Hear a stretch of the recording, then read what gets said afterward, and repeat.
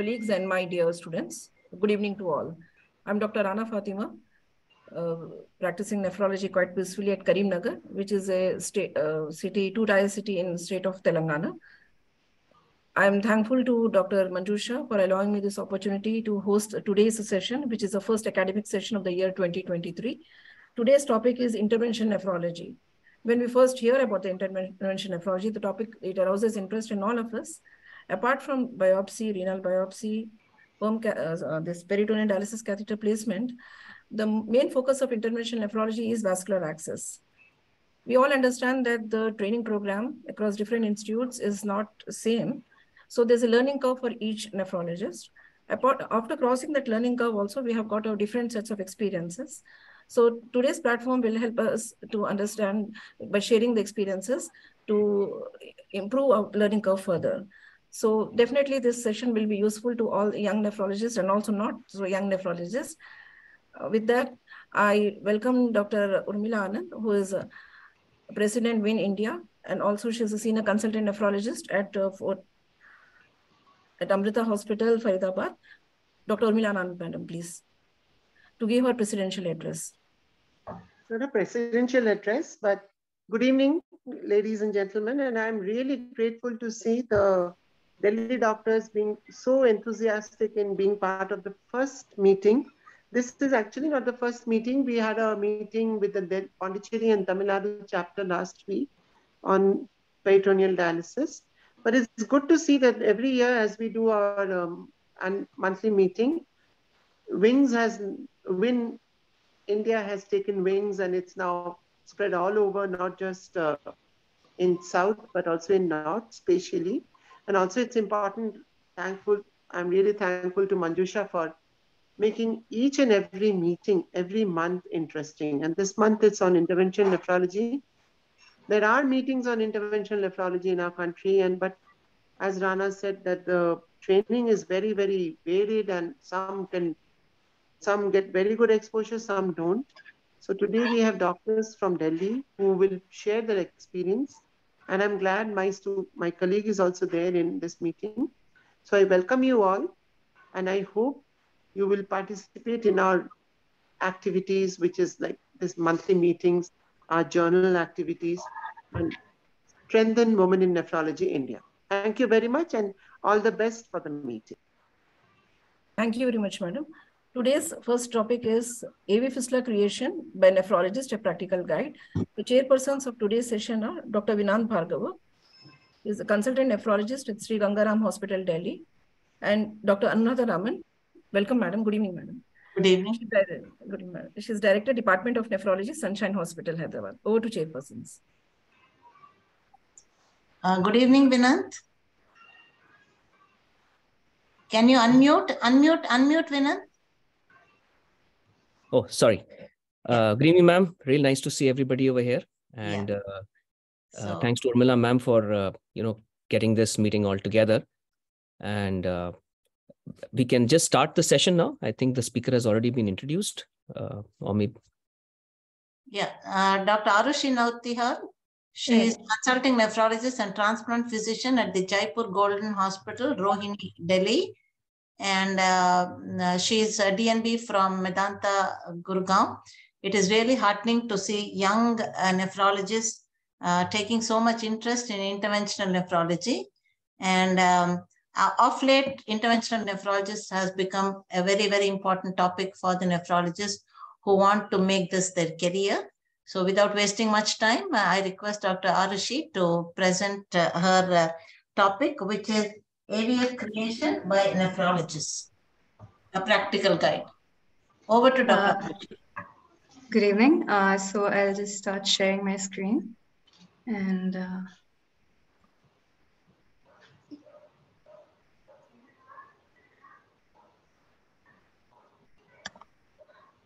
I, uh, I hope it's visible. So um, going forward, we, so my topic today is an AV fistula formation by a nephrologist. Now, why should a nephrologist be involved in this? Because we are eventually the point of care physician for a CKD patient. We guide them in all aspects of their CKD management. And uh, yes, we should also talk to them about their vascular accesses.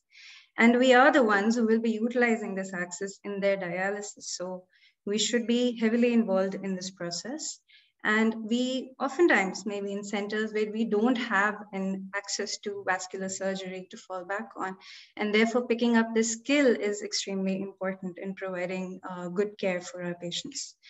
A fistula is the preferred uh, access for a hemodialysis patient because it's associated least infections, hospitalization, and uh, mortality compared to the other modalities such as AV grafts and central venous catheters. And therefore, majority of our patients in dialysis, prevalent in dialysis, should be on a fistula, and which one which should be created preferably 16 weeks uh, or six months, in fact, before anticipated need for dialysis to allow it to mature. The general principles in formation of a fistula that the upper limb should be used in preference to the lower limb uh, distal sites to be used before proximal sites because this permits a maximum use from a particular vessel, preserving proximal sites for future use, especially important in young dialysis patients.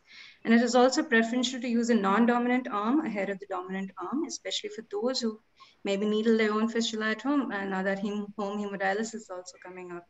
And we may be talking about it soon in India as well in a big way. Now, the three requirements for a successful fistula are that there be a good arterial supply and inflow, a good vein to act as the conduit as for the fistula, and patent central veins for an outflow because the fistula does start at the heart and end at the same. So in uh, how do you evaluate a person for whom you want to make a fistula? You should know their history, their comorbid conditions, uh, diabetes, cardiovascular disease, uh, malignancy, previous accesses, uh, previous fistula failures, because they will determine the uh, health of the vessels involved in the fistula. And in physical examination, when we are uh, trying to see the feasibility of fistula in a patient, uh, well, if you have a visible vein without tourniquet, that's the best case scenario. And an increase in diameter, if you can see on using a tourniquet after two minutes, uh, that tells you that your vein is distensible, can be used a visible vein length of at least five centimeters and an easy compressibility. Unfortunately, this is rather subjective, the compressibility part. It's better uh, assessed in an ultrasound. Uh, sim uh, similarly, subjective is an adequate arterial pulsatile force, but if you find a good force in that uh, pulsatility of the artery, that's an important requisite. Blood pressure should be checked on both arms. A differential of more than 20 may mean that there's a proximal arterial stenosis, which you will need to tackle before we get in uh, anywhere. You should have an adequate hand circulation, especially if you're going for the distal sites, which we can check by modified Allen's test.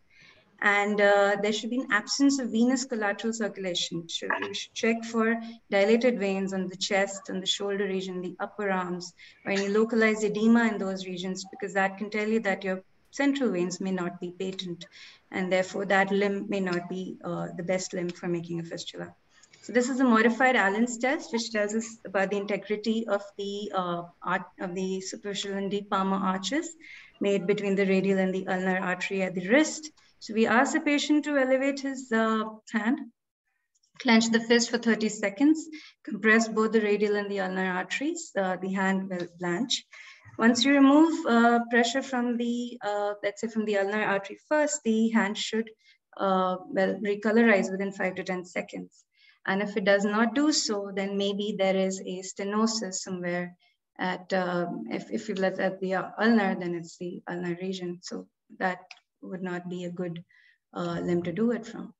So now these are well uh, subjective and on physical examination. But if you want to properly assess your vessels, you should use an ultrasound, which thankfully nowadays is far more available. And uh, in fact, its use has, sh has shown to increase the number of AV fistulas that are created for patients. And even uh, certain meta-analysis tell us that, yes, the immediate failure rate does come down when you have properly uh, assessed your vessels. Now, that's the advantage with the Doppler ultrasound. You get to see the anatomy as well as the blood supply. And it can be performed directly by the physician who will be creating the vascular access, which is the best case scenario. So you can properly assess where to go in. Uh, using a high frequency linear probe, you must scan the arteries from the root of the arm to the hand in the, in the direction of flow. Uh, and uh, the veins going up from the wrist to the uh, shoulder. This is a basic anatomy of the veins and the arteries in the upper limb. Uh, so we we see the cephalic vein coming down, uh, sorry, coming up like this, and uh, rather linear course, straight course, and therefore it is preferred. It's close to the radial artery at the wrist. And if we look here into the basilic vein, well, this is also very good. Uh, it's close to the brachial artery here. Unfortunately, it runs deep, uh, goes deep in the arm, and therefore is not the first preferred vein. Um, and we should also make note of these brachial veins that accompany the brachial artery and can be misleading on an ultrasound. Um, right, so when you look at the arteries on an ultrasound, you scan them, uh, looking at the vessel wall, the vessel thickness, because arteriopathy can be common in our patients, especially the diabetic and uh, that may interfere with the fistula formation as well as calcifications, which you can show, which you can see as hyperechogenic shadows and uh, you know irregular intimal uh, shadowing. Now, calcifications are not a contraindication to the creation of fistula, but they do make surgery more difficult, more likely to bleed, and interfere with dilatation of the artery post-op that, that will affect fistula maturation we should functionally see how your vessels are. Well, do they dilate? And, in, and if when you're looking into the artery, there's a test called reactive hyperemia that you can use. Uh, telling a patient to clench his fist for two minutes. Uh, before that, uh, you can make out the usual arterial waveform, which is triphasic. But you tell the patient to clench his fist for two minutes and uh, you've induced ischemia with that. And post that, uh, this form that becomes biphasic because it's now accommodating more blood flow. So yes, your artery is distensible. Similarly, uh, when we're looking into the vein, uh, you should ideally do an arterial examination first because venous will require tourniquet placement. Place very uh, low pressure, just a contact probe pressure, otherwise you'll compress your vein. Look into the vein wall, its course, its patency, its distensibility, and compressibility, which is very important because there may be underlying thrombosis from repeated uh, you, uh, puncture of the veins. And uh, you should also try to see into the central veins. Of course, that is a limitation with Doppler. You can't do that, but you can get an indirect evidence of their uh, patency by looking into the axillary subclavian or internal jugular vein, where there's a respiration uh, or cardiac cycle variation of the flow. So with inspiration, we can see the change. And if you uh, have, if you suspect central venous stenosis, well, you should confirm that with angiography before proceeding to fistula. And yes, you should look for venous distensibility. The diameter of the vein can be measured uh, before and after, two minutes after a tourniquet or a inflated sphygmomanometer cuff, and uh, preferably more than 50% says, well, your vein is good to go. And if you can map out any accessory veins around the site, uh, especially if they're more than 8 mm, they may interfere with the uh, flow later on, and you should know that you need to uh, ligate them during the surgery. So this is a vein before tourniquet and a after tourniquet that we can see it's distensible, so useful.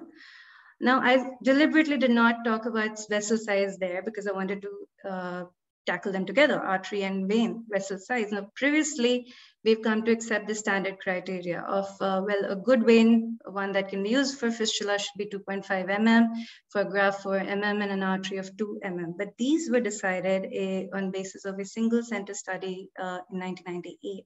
So, and, and beyond that, lots of studies have, uh, have been done, but no, there's no consensus still on what should be the size because you should look at the quality of your vessel uh, its distensibility, uh, the combination of your artery and vein, and, and then decide which is the best. But yes, uh, even the KDOQI guidelines have removed those criteria specifically, but they do mention if your vessel is less than 2 mm, be careful of its quality and feasibility. And with small caliber vessels, it is best to avoid those uh, areas.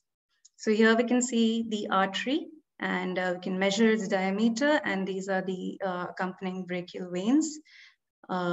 So yeah.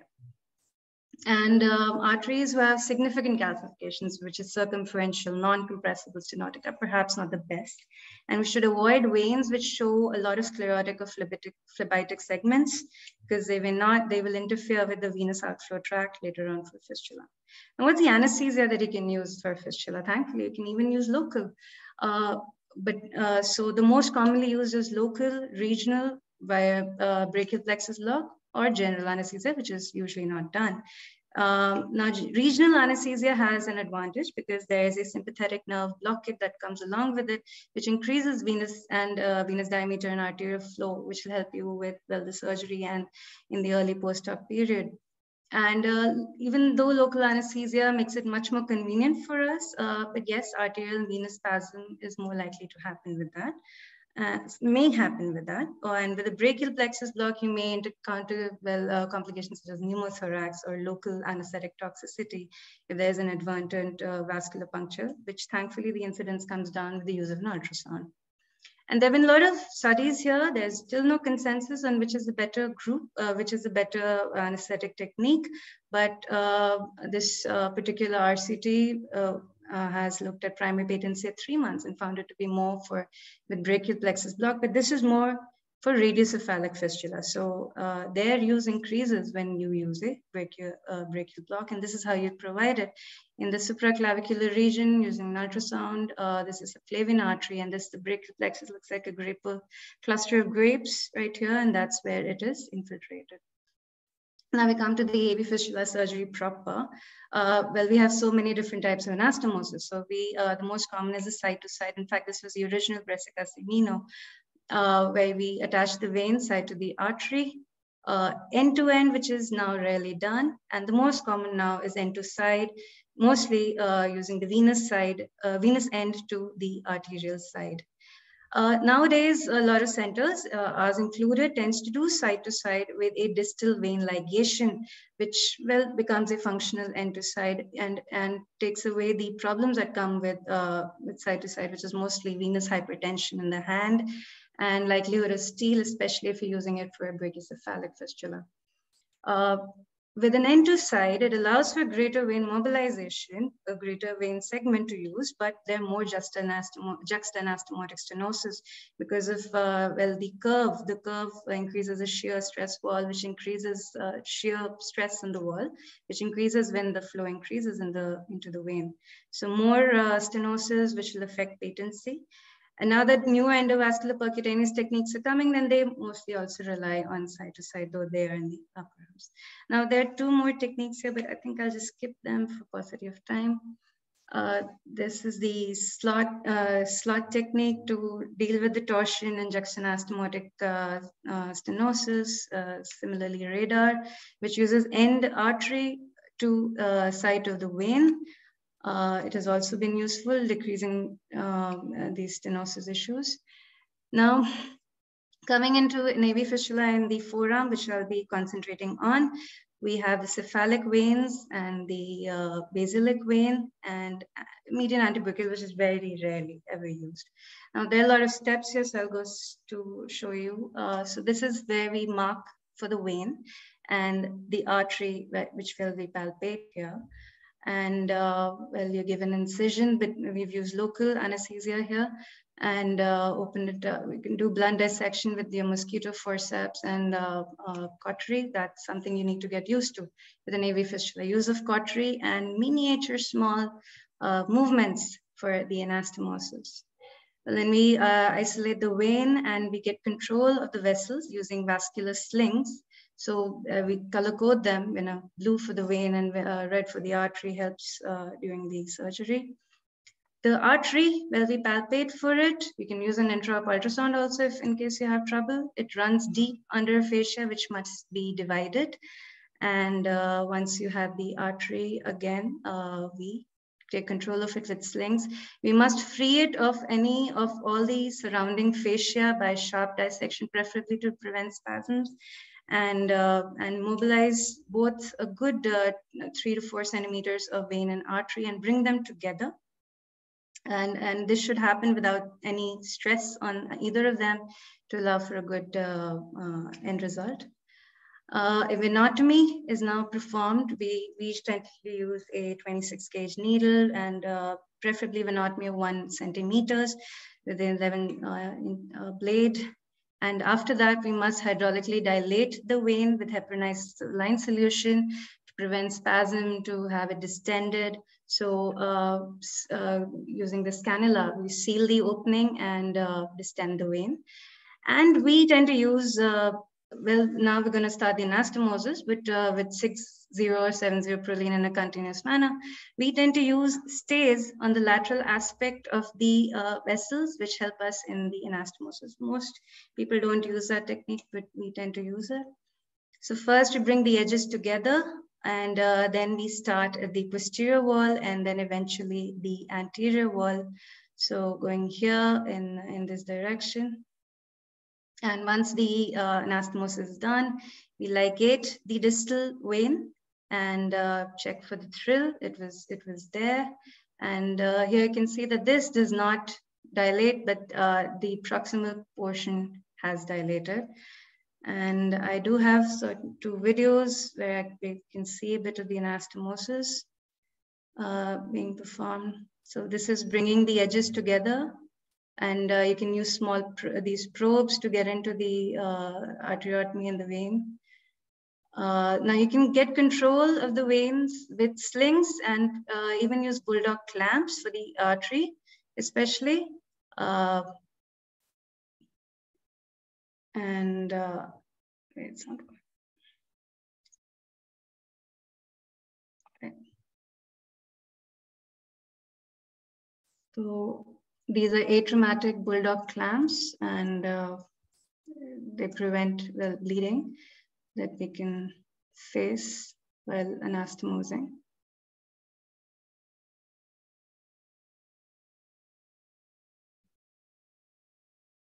Um,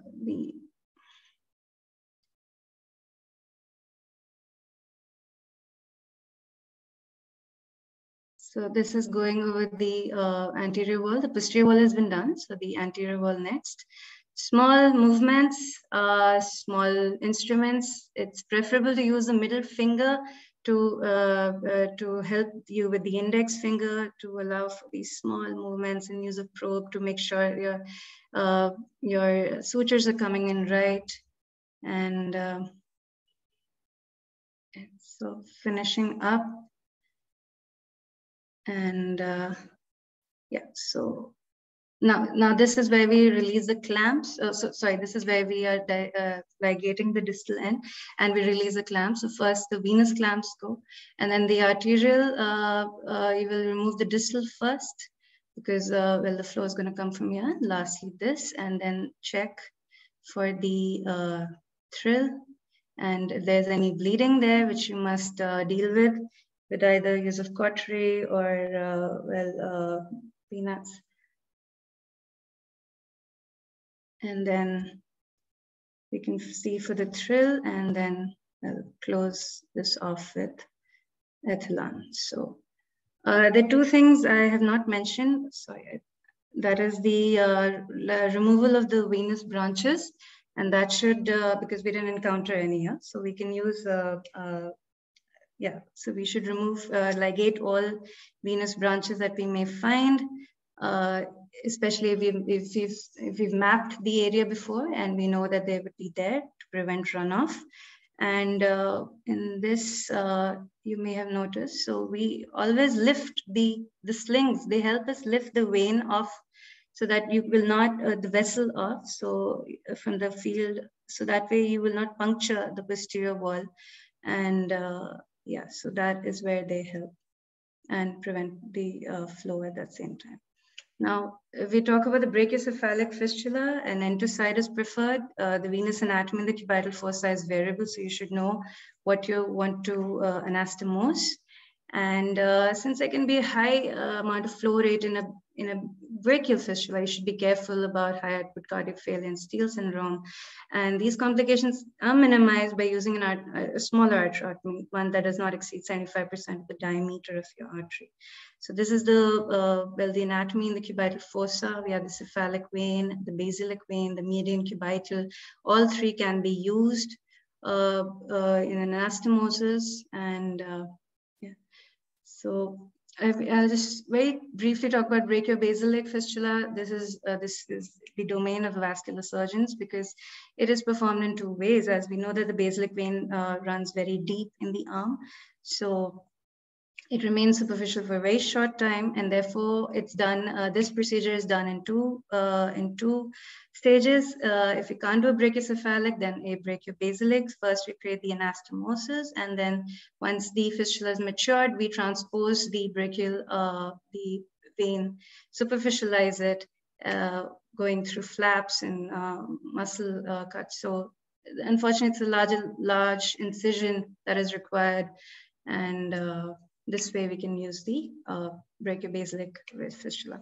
Now just troubleshooting a few things, like if you have, if you encounter spasm in the vein, which is more likely to happen in the young, prevent this with by using sharp dissection, a dilatation of the vein with heparinized solution, and uh, spasm in the artery, well, you can use microdissectors. Uh, I've never use that, but I have used papaverine, which acts as a topical uh, uh, uh agent to remove vasodil uh, for vasodilatation uh, well, you want to prevent rotation of the vein because, uh, well, if that, if the vein, especially in an enteroside, if it rotates, you can have torsions here and kinking, and this is not going to work. So you may, in fact, have to do a reanastomosis.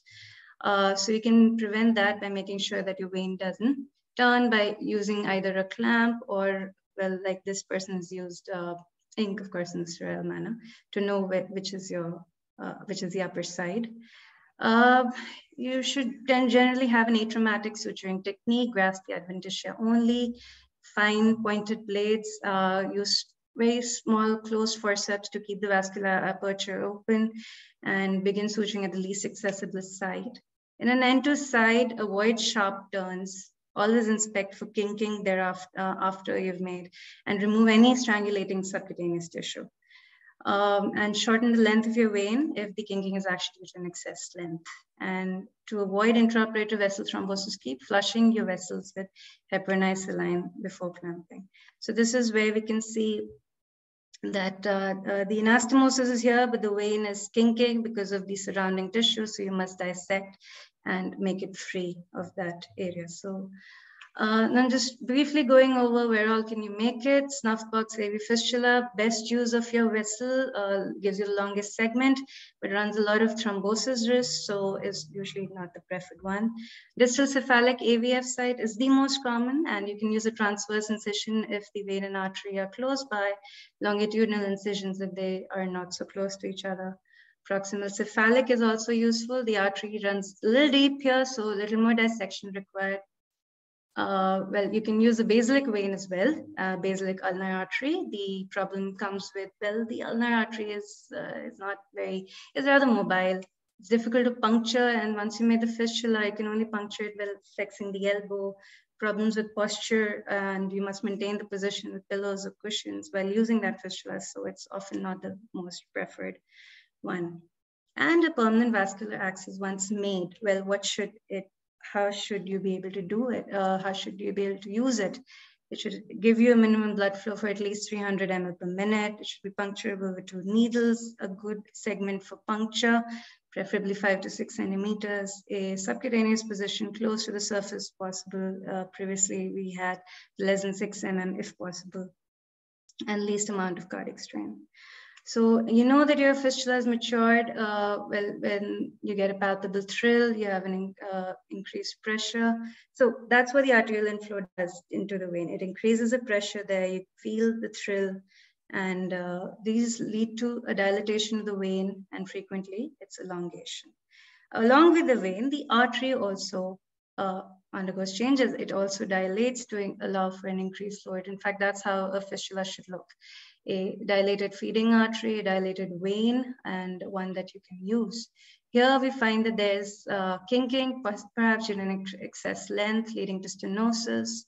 Here we find that there's a juxtanastomotic uh, stenosis affecting the, uh, well, the artery is not dilated well, nor has the vein. Here you have a very phlebitic uh, sclerotic vein, and it, it, this is perhaps not going to be used at all. And this is very sorry, rare. Sorry for the interruption, Dr. Arushi. Um, yes, ma'am. Can you can you try to. It's, it's almost done, almost done. Thank you. Uh, so the early failure is more likely because of an uh, use of inappropriate vessels, lack of dilatation because of some fibrosis around, uh, due to repeated puncture, thrombosis, low blood pressures, or thick subcutaneous fat. And uh, in fact, this is what inward outward remodeling is, that the in, uh, juxtanastomotic uh, stenosis tend to happen because of reduction in luminal diameter due to inter new intimal hyperplasia because of the shear stress that the vein is taking. And uh, this is mitigated because of the outward remodeling that tends to happen because of the increase in the diameter because of vasodilatation. So if you have an inward remodeling without a good outward remodeling, well, uh, you will end up with a stenotic AV fistula. And the long-term changes that may impair the function, well, of course, thrombosis, venous stenosis, uh, you may develop aneurysms, which will interfere with the use of fistula. You may have runoff through side branches that you did not see or, or ligate uh, during the surgery. A difficult puncture if your vein runs deep, uh, retrograde venous perfusion in the forearm, if there's central venous stenosis reduce arterial perfusion in the hand, steal, and this uh, uh, infections and stenosis of the feeding artery. So all of them can be dealt with in different ways. Unfortunately, I will not be able to cover that. So uh, that will be the end of my presentation here on AV fistula by nephrosis. Thank you.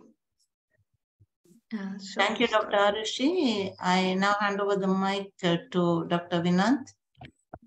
Yes, Dr. Arushi, this is uh, First of all, I should congratulate you for a very lucid presentation that you've given to us. Thank you. About the practical handling and the practical aspects of how to do an AV fistula. I'll just like to put in some practical uh, points that we've gathered from our experience over the last few years. Yes. So what we've seen is that the USG Doppler, when is used for mapping the veins to check the characteristics of the artery, is a very interesting and important tool. But our experience with using the Doppler is that we've somehow converted most of our radiocephalic fistulas into brachiocephalic fistulas. Even if the patient did have the tendency to have a radiocephalic fistula, they were converted into brachiocephalic just because of the fact that we thought the veins were not adequate in size. So we learned with our uh, uh, experience, and then we started migrating towards a hybrid technique between assessing the veins. We would first hydrate the patient well, if the patient is, uh, if you can hydrate the patient. And we would like to keep the blood pressure medicine off maybe for about 24 hours. Yes. We would do a tourniquet test. We would use our own hands, our own eyes, try to map the veins, check for the artery, the characteristic of the artery, and then correlate it with the Doppler findings. And that was quite an important thing because we thought that we were missing out on converting our brachiocephalics into radiocephalics because we were overinterpreting the Doppler results. So that is one thing that we used. We used a hybrid of two things. Second thing that you mentioned about arterial calcification is very, very important. But our observation on arterial calcification is if you have a calcification in the radial artery, there are only two outcomes to the fistula. One outcome is that the fistula will not function at all because you're not going to be able to differentiate the intima from the adventitia. And when you do anastomosis, you're going to have a juxta-anastomotic thrombosis. But the second outcome, which, which is very interesting, is that if you have partial calcification, is that these arteries are so good, you know, yeah. so they don't go into spasm at all. So yeah. you you get a very good fistula for a very long period of time. We we also encountered that. Yes. That's right. And the third is about the venous thing that we were talking about. When you're checking for veins on Doppler or anything, it's very important for you to adequately hydrate the patient, make them lie down, you know, in a supine position rather than make them sit up and check for the veins because you might you might just kind of underinterpret the size of the vein. Uh, your point was very good about the distensibility. It's very important to check the distensibility of the veins and also to assess the arterial blood flow because that's what's going to cause the post uh, anastomosis dilatation of the vein once the AV fistula has been created. Uh, mostly we're using uh, local anesthesia for all our patients with uh, either brachiocephalic fistulas or even radiocephalic fistulas. And blocks are generally given to patients who are very, very anxious, or you have to convert a fistula from brachiocephalic into a brachiobasilic because of some kind of a problem when you do a fistula surgery. We use papaverine And we are we would also like to tell you that adrenaline itself is a is you know it releases spasm of uh, vessels. So sometimes we run out of papaverine, so we just put some adrenaline sprayed around the artery, and it does sometimes just relieve the spasm of the vessels. In terms of anastomosis, it's very important for us to decide what kind of anastomosis the unit is going to be doing. Uh, the the the findings that you showed us and the the demonstration that you gave to us was very interesting. Was an end to side. So the, the pro sorry an end to end. Uh, side, to side side, to side, yeah with a distal ligation right. So our experience has been that the end to side somehow works better than the side to side even with a ligation. Why? because you can you can you can predict the rheology and you can also predict the angle at which you're going to do the anastomosis once you've done a venotomy and cut off the vein from the distal end. So and the most important thing is when we do the anastomosis is we always try to create an apex which will be sutured first and we use a technique called as a parachute technique in which what you're basically doing is you're taking the sutures from inside out for the artery and from outside in for the vein. So in that way, you do not you, you do not miss the intima or you do not splay the intima when you're just taking an adventitia. Yeah. So when you do from outside in, you're basically just sometimes just hitting only the adventitia. And why it's important is because most of our patients are diabetics. If you have a non-diabetic patient, no problem. But with diabetic patients, it's going to be a problem. Third is when you're doing a lay of the fistula, uh, of the vein over the artery, that is a venotomy, when you're going to anastomose it with an arteriotomy, is to use the piggyback uh, procedure. You you had you just kind of skipped it. But yeah, but I know there was a shortage of time. But it's very important to know that the piggyback is what we use, and we tried the loop too, but the loop would not function as much well as the piggyback. Though the angle was more acute with the piggyback, but somehow the loops would not really function very well. And your point about looking for accessory veins, ligating them is very, very essential because that's going to compromise the flow of the fistula, is going to hamper the maturation time of the fistula. There was one point that they talked about the arterial clamps. So we've we've somehow not we are not somehow comfortable with using arterial clamps neither is our vascular surgery department.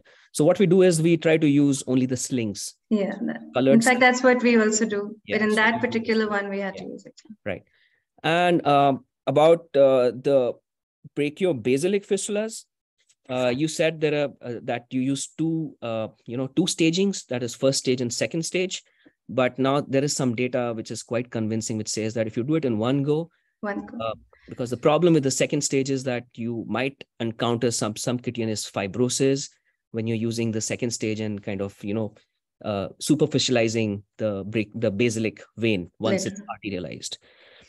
For the torsion of vein torsion of vein generally does not occur if you have identified the apex of the fistula so once you have the apex of the fistula with the arteriotomy end and the venotomy end coinciding, you generally would not encounter the torsion of the vein. And the most important practical thing that we find to prevent torsion of the vein is to pre-flush the vein with saline and then just leave the vein. So you will see where the vein rests, you know. So you will get to know that when you flush the vein, the vein rests in a particular angle. So if that angle corresponds to the arteriotomy, then you know that the vein is not going to be having a torsion there.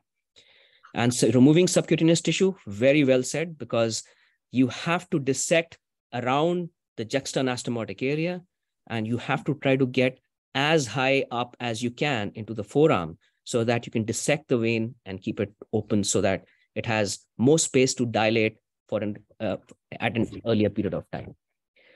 What we've noticed about early failures in our fistula is the fact that the most important point for that was failure to technique. So if you have a failure of technique, you're going to have very early failure of fistula as as short as just 30 minutes after fistula uh, creation.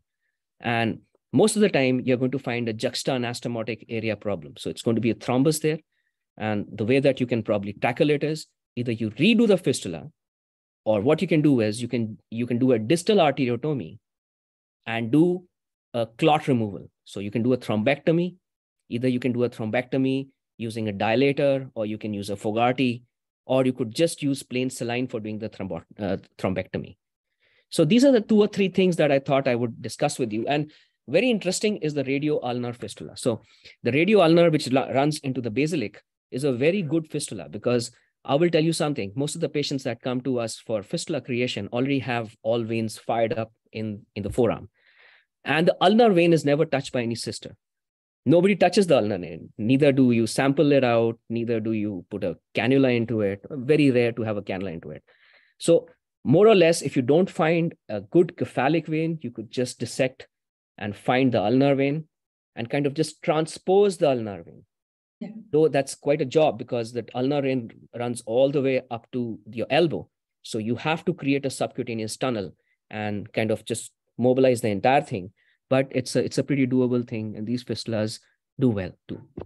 Right. But I must congratulate you for a very good demonstration, and I think a lot of people have learned from it. And I would also like to congratulate uh, Dr. Manjusha and Smriti for uh, having such a good program about practical aspects uh, because as you started the program and you said before your presentation that's a nephrologist that should create it. And this is what i learned from my my teachers over here dr bhalla dr rana dr ashwini gupta that we should be creating our own fistulas and we should we should create our own techniques in which our patients do well with the fistulas. Thank you very much. Ma'am over Thanks. to you Dr. Anuradha, madam. Okay. Um, Thank you, Dr. Vinant. Um, I think uh, we are a little short of time, so uh, I hand over to Dr. Rana for uh, further proceedings. Uh, congratulations, Dr. Arushi, for that wonderful uh, um, talk. Thank you. Congratulations, Dr. Arushi. Dr. Uh, Pallavi had a doubt. She was asking whether you yourself do brachial plexus block. Uh, no, we do not. Uh, our anesthesia team does. And uh, we don't use it all that commonly but uh, yes we uh, in a fair percentage but uh, our anesthesia team does okay. thank you dr arushi. The second topic uh, today is femoral and ijv perm cath insertion by nephrologist in resource limited settings.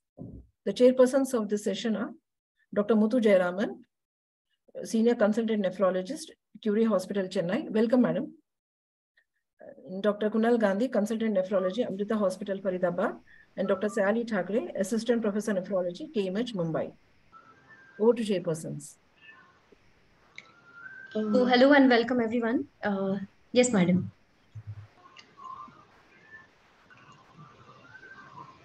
Madam, please go ahead. Oh, uh, thank you for asking me to chair this session. It's a wonderful session particularly by women uh, nephrologists doing so beautifully the intervention uh, vascular access.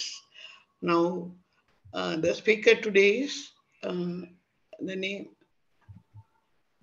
is Dr. Smriti Sinha, a consultant nephrologist and transplant physician from NUH, which, which ex-assistant professor in uh, Mumbai. And where, where is she now at present? Ma'am, I'm at uh, Marengo QRG Hospital in Faridabad, ma'am. Oh, so she's going to talk about PermCath and uh, procedure. Uh, welcome, Dr. Smriti Sinha. Uh, you go ahead with the talk. I'll start my screen share.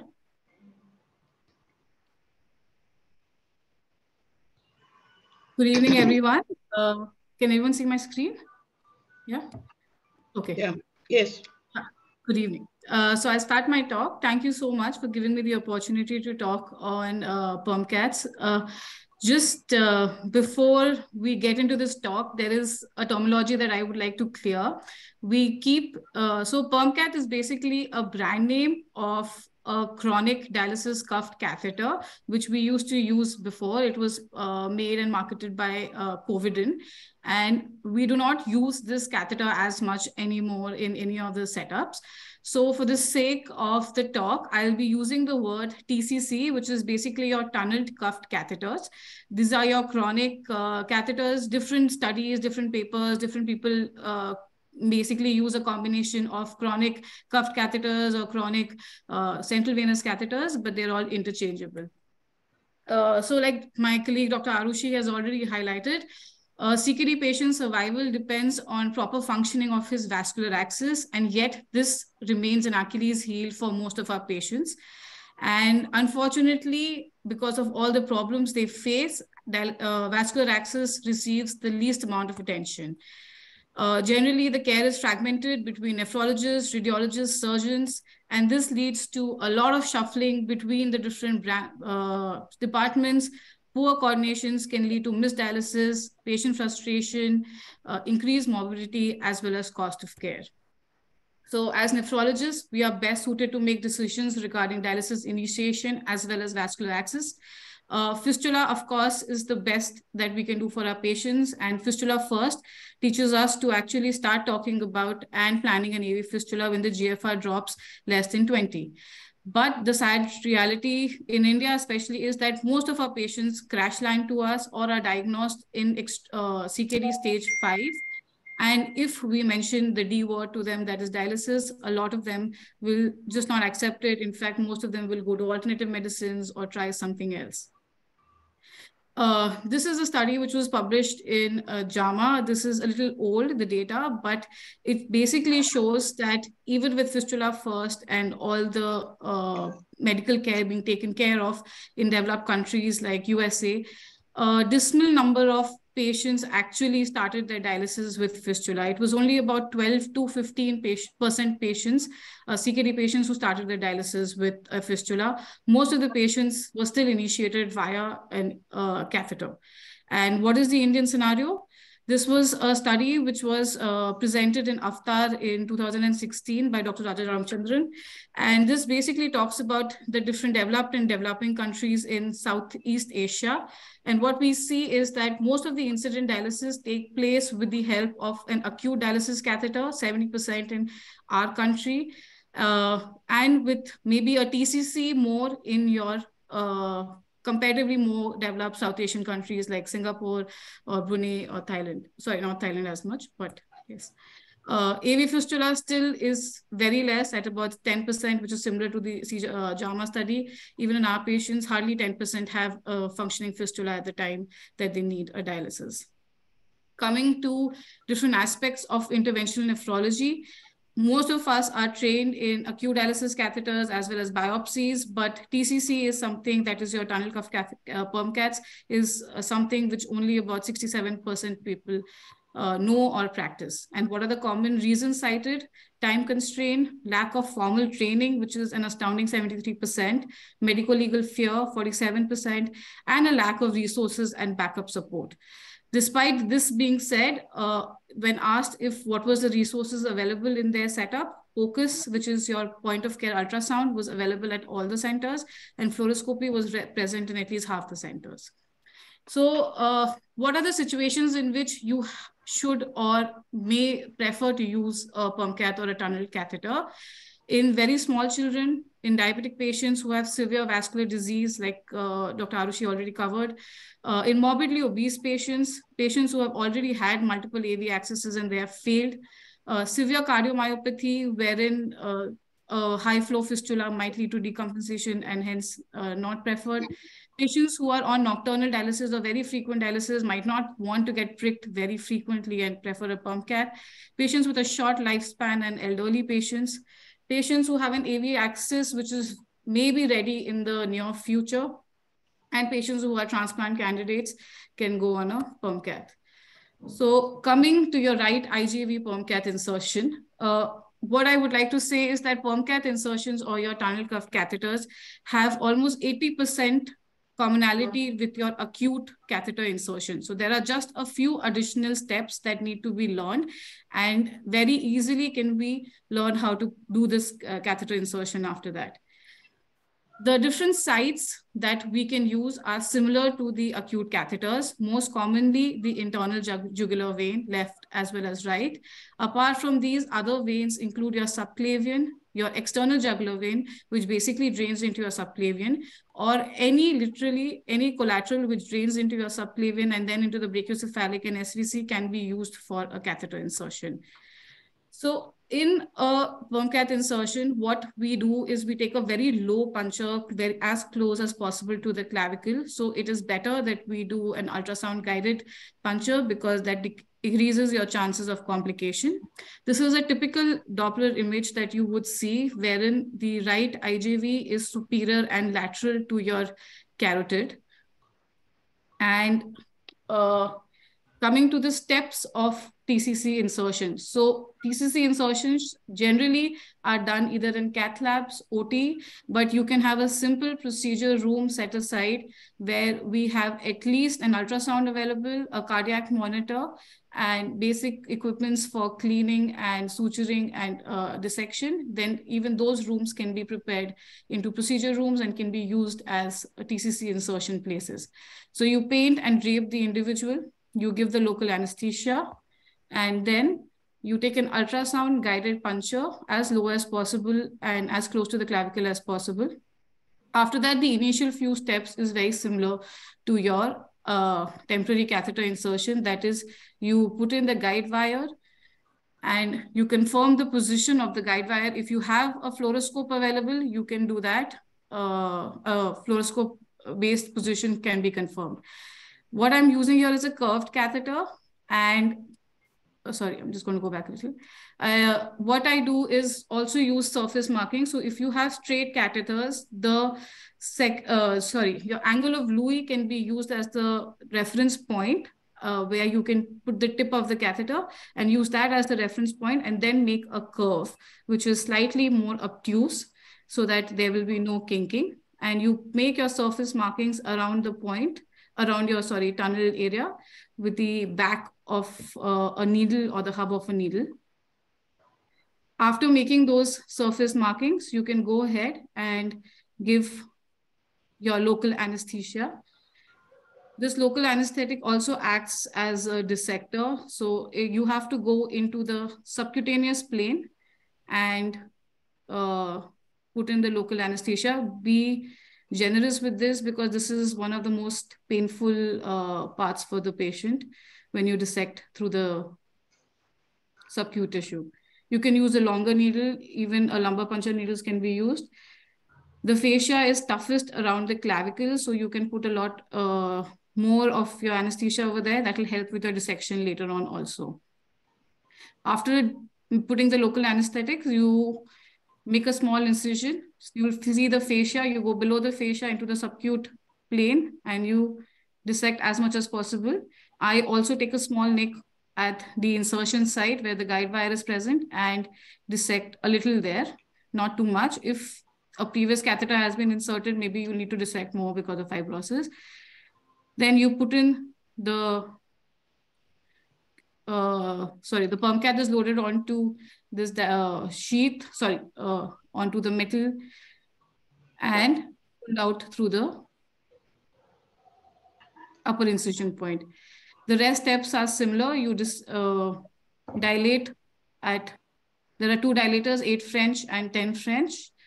And after this, this is the sheath which is on uh, another dilator, which is then slowly put into the upper, uh, over the guide wire. I take it slowly. You should always do it slowly because uh, this can lead to shearing and tear of your veins if you go too rapid with it. It's a big dilator in it and you pull it out. There is a valve actually present on this sheath which prevents your blood from gushing out take the catheter, put it inside the sheath, put it as in as possible. And then with a click movement, you tear the sheath, hold down the catheter with your thumb and pull out the sheath from your with your other two hands, keeping the pressure on the catheter with your thumb the whole time. You can ask another person to help you if it's a little difficult initially. So this is the entire procedure. After this, we generally confirm the position of the catheter using a fluoroscope. If you don't have that, for example, when I was at Nair and we didn't have an active fluoroscope, we used to send the patient down to this X-ray, get an X-ray done. And then if we find the position to be a little too in or too out, we would adjust it immediately. Uh, this is how the curve and the tip should be. The tip ideal place for the tip should be in the right atrium and uh, the curve should be smooth. There should be no kinking present here. One thing to remember is, I'm sorry, I'm so sorry. One thing to remember in this is uh, that we will have to, uh, I'm so sorry, I'll just have to take two minutes.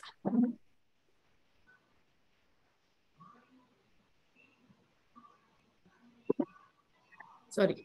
Uh, one thing to remember is that uh, we have to make sure that the tunneling has not happened into the breast tissue or any heavy tissue because when the patient gets up, there might be some tugging at the catheter and that will lead to the catheter being pulled out.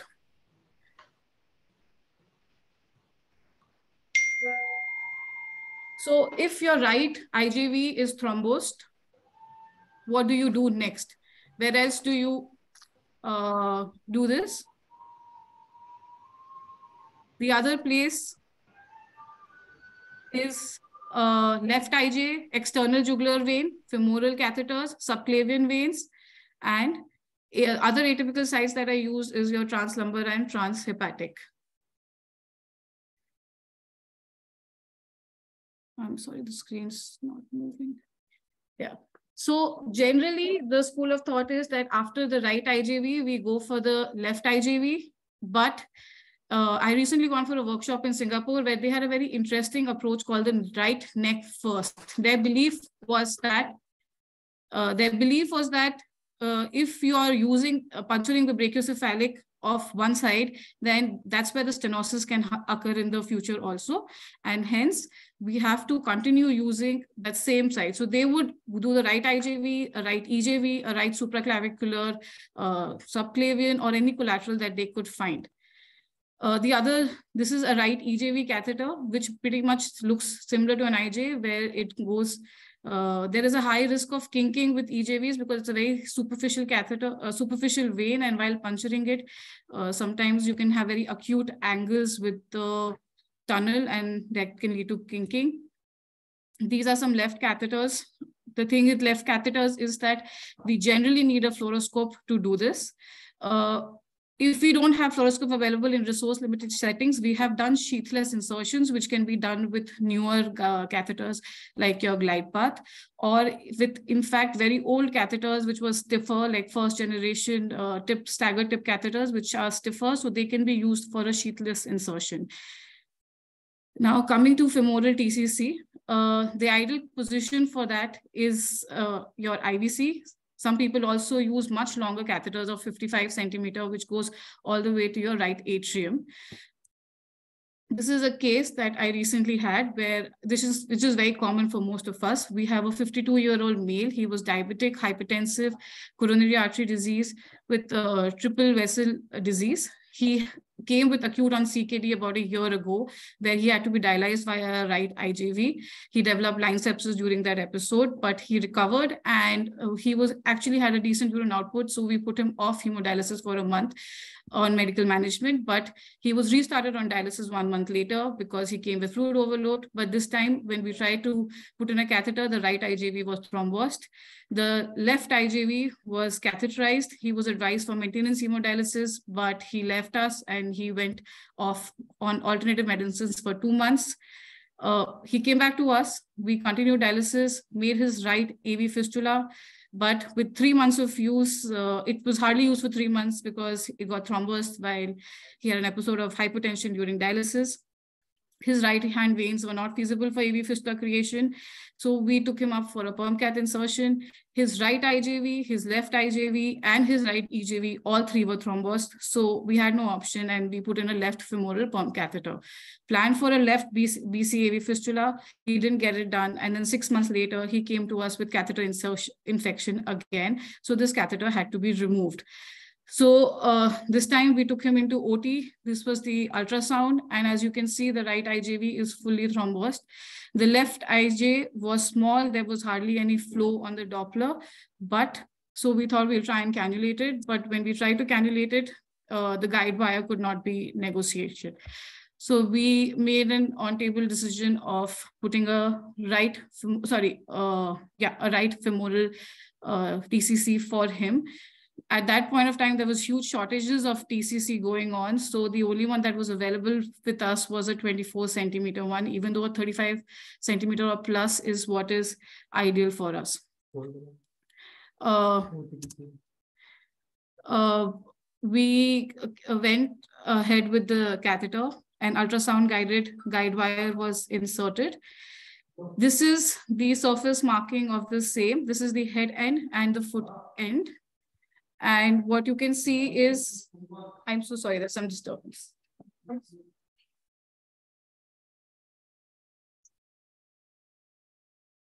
Sorry. So uh, what you can say, this is the head end, this is the foot end, and this is the inguinal ligament. Uh, we use umbilicus as the surface marking. And again, the this is how the catheter was placed and the position for the tunnel was created. Then sorry. Similar to what we have done with the right IJ, PermCath, we put the anesthetist, anesthesia, sorry, along the catheter hubs that marks that you can see here. I went slightly lateral to it and I gave the anesthesia. We then went ahead and dilated the two sides, the lower end as well as the upper end, went to the subcutaneous plane of it and dissect it as much as possible. Sorry.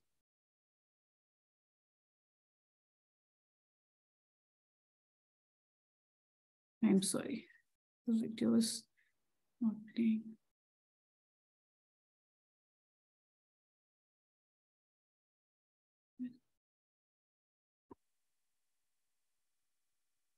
Oh, sorry.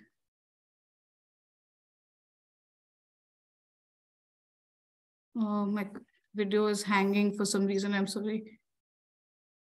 Siddharth, are you there? Can you please help, Siddharth? Yes, ma'am. Ma'am, uh, ma'am, have to reshare uh, the slide. Uh, I'll just I'll just start it. I'm sorry. I'll just can I uh, reshare? Yeah, share screen.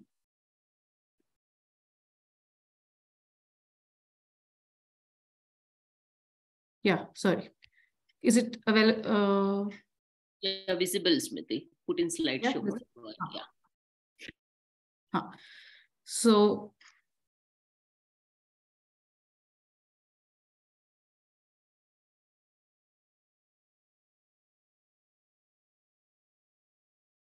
Yeah. So basically, after dilating the top and the bottom end, the subcutaneous plane,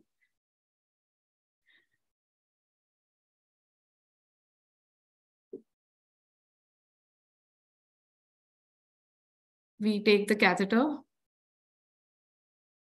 which has been mounted onto the metal rod, and we pull it out from the other end. At this step, you have to be careful because a lot of time during this tugging, the wire gets kinked. So we have to be very careful that the wire doesn't get kinked because that will make the dilatation process very difficult later on. You can put the catheter to lateral of the guide wire and then you dilate it like you would dilate your acute catheters.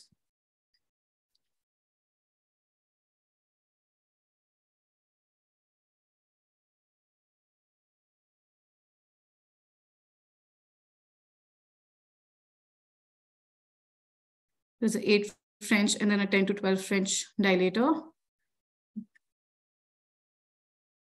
And then you take the sheath, which has been mounted on another dilator, and you load it on and you push it in. You have to go a little slow, keep checking your guide wire to see that there is no kinking that has happened. So you know you'll be in the right plane in that case. And then you pull out the guide wire along with the inside dilator and keep the sheath in.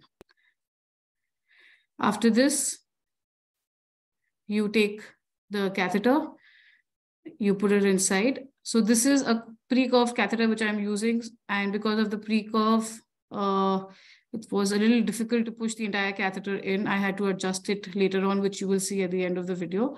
But uh, once it goes in, you hold it in with your thumb and you peel off the sheath. You can ask someone else I'm sorry. So you see that because of the curve, it's becoming a little difficult to push it in. There's a rebound which comes out, which I will adjust at the end.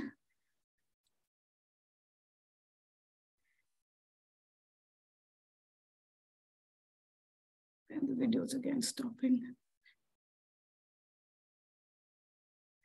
I'm so sorry. I don't know why this is happening. This was the last video.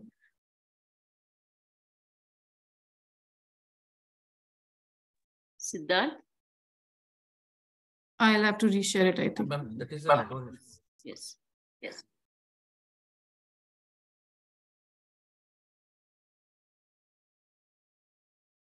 Sorry.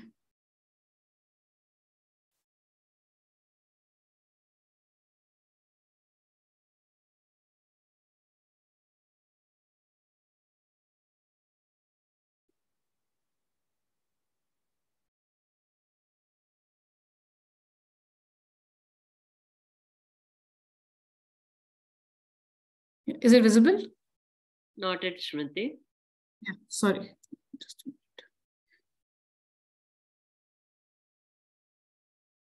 minute. Select share. I don't know where. Um, yeah. Now is it visible? See, Yeah, put in slideshow. Yeah. So uh, after this, basically the catheter, uh, the same steps were repeated. The sheath was pulled out and the blood flow was checked. And like you can see, there's free flow of blood. This was the final position. This is the head end and the foot end. And what you can see is basically the catheter comes out on the lateral wall. So it is a little modest. People can wear their, uh, females can wear their petticoats and pants. And this catheter side basically comes out above and lateral to it. So it is easy to access also. This is what a typical 35 centimeter catheter would look like after insertion. It goes into your IVC and the uh, AP as well as if you take the lateral X-ray, this is where you can see the tip. The other uh, way of tunneling is if you don't want to, if it's a very obese patient specifically and you have a lot of skin fold, taking it up might be a little difficult. So you can tunnel it and you can take out the tunnel at the end on your thigh, like mid thigh can be the end of the tunnel. Uh, there was a patient who we had recently gotten and a 55 centimeter femoral catheter had been inserted for her by a vascular surgeon but uh, this patient actually, when we took her X-ray, if you can see, the tip is curving inside the right atrium. 55 centimeter catheters, catheters are very long, especially for shorter Indian patient. She was a short five, I think four feet eight Indian patient, uh, female. And when we did an echo, this tip was actually in the right ventricle. So this is something that we need to be careful about with very long catheters. Uh, this was a study which basically, uh, if the right IJV is thrombosed, all of us go for the left jugular axis, as the traditional teaching is that femoral axes can have higher infections. But this was a study by uh, in which they showed that femoral as well as IJV catheters have similar rates of infection, except in the subset of obese patients where femoral catheters have higher rates of infection. So since femoral catheters are some uh, femoral cannulation is something that all of us is have been doing, uh, especially for our temporary catheters. And in resource limited settings, this can be a lifesaver sometimes. These are the different tips of catheters, a step tip, a hemosplit, and a palindrome. What you saw in the video was a hemosplit. What are the differences in performances? Hemosplit versus staggered tips. Hemosplit is uh, said to have lower circulation rates and longer lives. Palindromes have better flow rates and just overall lesser catheter dysfunction, but more or less there is no major difference between any of the catheters. So take home message would be that nephrologists should be involved with vascular access planning. Your PermCath insertions, basic AV fistula creations can be learned by us. It is a skill. We do more, we learn more. The common uh, argument that I keep getting from a lot of people is that a temporary catheter is practiced more at our centers because it is much cheaper. But like we spoke about how if we are shuffling the patient between different departments, trying to get them dates for AV fistulas, uh, then the average scenario is that it takes about two to three months before a functional fistula or a transplant is done. And if you do the cost analysis of a patient on a temporary catheter for these three months, uh, it is not only equal, if not more expensive, but it also mainly leads to loss of your precious central veins, which can be, create a problem later on when we want to create fistulas or if there's a platelet transplant and they come back on dialysis. Hence, preserving central veins are very important. And I think a TCC does a better job at it than a temporary catheter. And yes, that would be my final slide. Thank you. Thank you, Dr. Smriti. Excellent talk. Um, but for the little disruption, your show was wonderful. So I want to know a few things. you, you said the femoral catheter and uh, uh, jugular catheter uh, same uh, duration without infection. Is it possible in our group of people to have that kind of, I mean, femoral catheters are known for infection, and how do they protect uh, from infection in the site, enterocyte? enterocyte? Uh, Ma'am, are you asking if they have the same rate of infection as compared yeah. to an IJV? Mm, yeah. Uh, Ma'am, uh, practically speaking, uh, I must have an experience of about 20, 25 femoral catheters uh, that I have inserted personally and uh, have at my center. And infection is something which is equally common in both. However, in patients who are bedbound, who have chronic diarrhea or on diaper and all, which mm-hmm. might be a case for patients who have had multiple AV uh, vascular failure or elderly patients, in those cases, of course, chances of infection with the femoral catheter is more. I think because of the general hygiene and uh, being in a bedbound state. But otherwise, if well maintained, uh, we've had patients for even up to two years. That's the longest patient I've had on a femoral perm cath. What is the longevity of your femoral catheter? How long you keep them? Ma'am, uh, depends on the indication. Like in this patient, uh, we have planned a uh, AV fistula, so it will be removed after that. But otherwise, the ranges from six months to even two years. Like I said, the longest that we have seen is two years with a femoral cath. We use a cap for the um, uh, perm cath called Q-Syte. Huh, yes. No, ma'am, we haven't used that. You use yeah, that? Um, no, uh, ma'am, not at our center. Uh, but yes, some but people do use that. that. brings down the infection rate because we we have patients even for three years without uh, much infection and uh, with the temporary catheter, uh, this perm cath. So, do you use that? Uh, no, ma'am, not at our center. We haven't used, but that's a good point, ma'am. Maybe we should look into. Can you convert, uh, so you put an IJV uh, temporary catheter, can you convert it into perm cath through the same line? Yes, ma'am. Uh, yes, ma'am. Depends on the site of insertion. Actually, if it is a very high up puncture, then we try to avoid it because then that increases your chances of kinking. But if it is a mid to low puncture, then yes, ma'am, we have converted uh, IJs into perm caths. Oh, request other chairpersons to Hi, good evening, Smriti. Dr. Kunal here. Good evening, sir. Yeah, Achha, in that patient where uh, no, you had inserted the femoral catheter, you showed that there is a small, I think uh, the IJ was a little small. No, the caliber was quite small. So, are you uh, did you use a stiff wire or are you using a Terumo, no, a more flexible wire? Are you, do you use in such patients where no, you are not able to pass a, a normal guide wire? Uh, sir, because he had history of previous uh, catheterizations in the past, and his, in fact, six months ago, his left IJ was fully thrombosed. If this time there was some recanalization, we had thought that we will try and we were suspecting that maybe there might be stenosis down below also, which we can't see as such on just an ultrasound. So we we didn't use a wire in this case. We used the one which came with the set, and uh, right after insertion, within a few centimeters, we couldn't negotiate it. So uh, no, but in other cases, yes, uh, we have used Terumo wires just to see how easily we can uh, use it. Like I mean, we can put it in. Uh, regarding your point, no, regarding no, you said that especially in females where no, you should avoid a lateral entry. No, in, in our personal experience, what we were doing previously, I think Dr. Pallavi also will agree that know, we created a midline exit site. So most of our patients you know, created a midline. So there is no movement. No, this is especially important when you are putting left side. No, initially when the fibrosis is not there with the movement and all, the catheter comes out. Know, and sometimes the flows are not good, and this is more common on the left side. So you know, we have you know, very good results with the midline. So even for a curved catheter, we can create a midline that is more suitable because the natural curve is like that. No, so if you place in that, so the the uh, the exit side comes in the midline.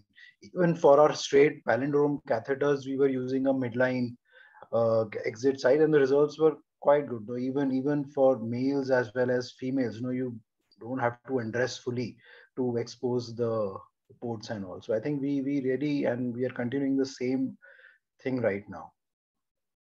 Yes, sir. Actually, we also do that. Uh, it's a very, very valid point, sir. Especially uh, for females, we try and take uh, uh with curve catheters. It's much easier to take a midline uh, tunnel. Dr. Smriti, that was a wonderful presentation. Uh, there is a query in the chat box. Uh, what about this below groin approach for tuft femoral catheter? And one more question I have is, you said instead of exploring the right side again and again, can we go straight away for this uh, femoral cuff uh, catheter rather than exploring the same side, as you said, got trained in Singapore? So we, that will lead the upper limb vessels from heal, healing and also for the thrombus to resolve if it is there instead of of course uh, so what they did in singapore was actually that they used the right side again and again even if there was a partial thrombus or if uh, even if the right ij was fully thrombosed and they could see uh, collaterals draining into where they could you know trace it with the help of a Doppler or a fluoroscope, uh, by with using a dye, they could see that it's going into a subclavian and a patent brachiocephalic, then they would use the collaterals. They believed that using the same set of veins draining into the same brachiocephalic is much better because it saves the other uh, vessels from any kind of puncture and any kind of uh, loss uh, or you know like stenosis or thrombosis. Because even all these thrombosis most of them do heal with some amount of fibrosis. But uh, that being said yes if you are planning a fistula for someone and you feel like uh, you you know like instead of puncturing the same side like for example you're making a right uh, bc fistula and you don't want to uh, use the upper side veins yes you can go for a femoral because it will also be short term in that case. So yes. Dr sally Chatri, your comments please. Yeah. So excellent demonstration uh, dr smriti uh, I especially want to underline your point of uh, fragmentation of care that happens uh, when uh, a fistula or a tunnel catheter is planned. And this does, doesn't happen just at the beginning when the patient needs his first AV fistula or the first tunnel catheter. It keeps happening. And especially the stage when the patient reaches multi-access failure, we again need to be involved uh, in order to decide which veins or which uh, fistula and what order the fistula and the V and or the, the tunnel catheter must follow and which site needs to be chosen. So a nephrologist is paramount in planning of a AV fistula, of a dialysis access. Uh, uh, especially in resource limited settings like uh, uh public health uh, centers where you have a lot of uh, waiting time for either procedure either the intervention uh, uh, nephrology or uh, uh from uh, uh, fistula for the creation of AV fistula, we need interim accesses. So a femoral access is a, a, beautiful way to bridge the gap between getting a more permanent form of a, a catheter or a AV fistula. And regarding your points where we we negotiate more narrowed or previously utilized veins, Dr. Smriti, would you like to tell us whether you use any CT venographies or any uh, dye insertions during the procedure to ensure, you know, that uh, the veins are of adequate caliber before uh, trying to cannulate them, especially the veins which have been utilized previously, not the naive veins where we expect the procedures to be less complicated. Yes, absolutely. So, uh, in patients who we are expecting there to be an issue because of uh, obvious previous history of multiple ca catheterizations, we sometimes, if we are getting a smaller vein or we are doubtful about a deeper uh, stenosis we take we take a dye and we put it through the puncture site first. Like we take the punch we puncture the vein and then we put the dye and then we see the flow of it inside uh, in a fluoroscope. And if we are seeing an adequate flow like i mean i don't think there's a fixed diameter that we exclude. If we see that the flow is going through and through to the heart or at least the SVC, uh, then we and try and negotiate a guide wire. If we can put in a guide wire, then generally we uh, try and put the catheter over it. Thank you, Dr. Smriti. We'll go over to the next session. Thank you. I invite uh, chairpersons Dr. Sumanlata, Director Nephrology and Renal Transplant, Fortis Vasant Kunj, Dr. Anuja Porwal, Additional Director of Nephrology at Fortis Noida, and Dr. Mayur Trivedi, Consultant Nephrologist, PD Hinduja Hospital, Mumbai. And I request Dr. Vinit Behra to join us again as chairperson. Over to chairpersons.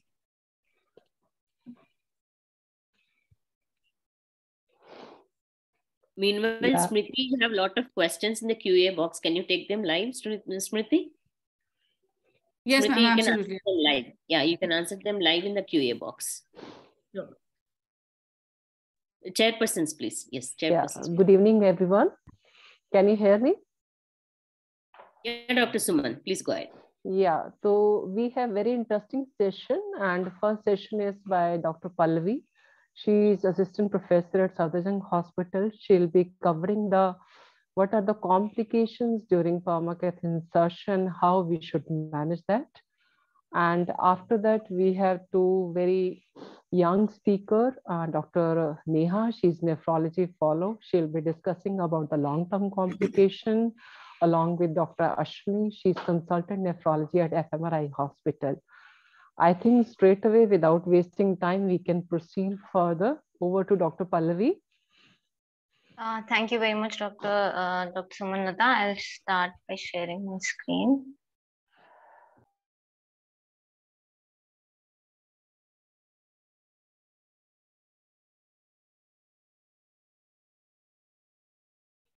Are my slides visible?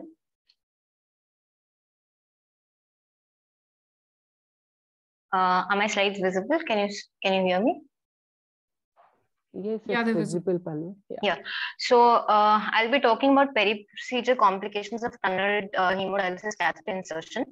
Uh, so certain peri-procedure complications are common with all central venous catheters like arterial puncture, hemothorax, pneumothorax, and I won't be covering these in detail because we have studied this extensively in medicine and surgery and in MBBS times.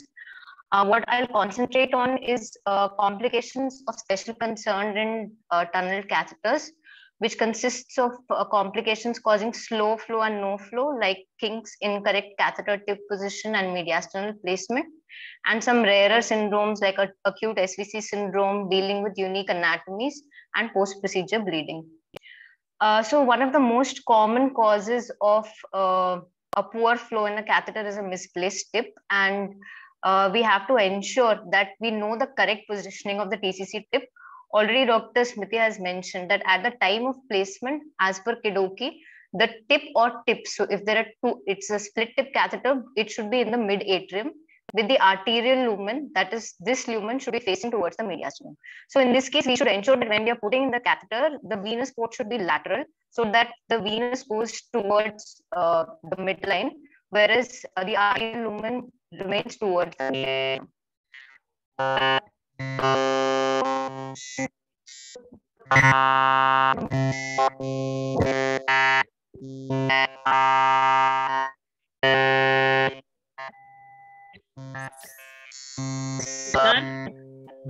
ma'am, this is disturbance from Dr. Pallavi's side. Ma'am, ma'am, this voice yeah. disturbance is coming from Dr. Pallavi's side, ma'am. Okay. Dr. Pallavi? Dr. Pallavi, can you hear us?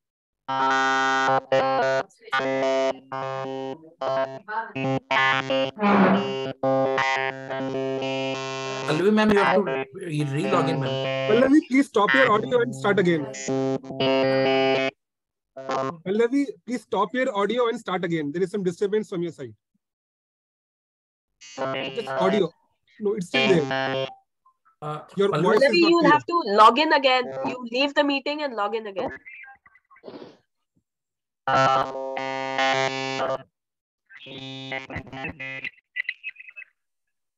Pallavi, your voice is not clear.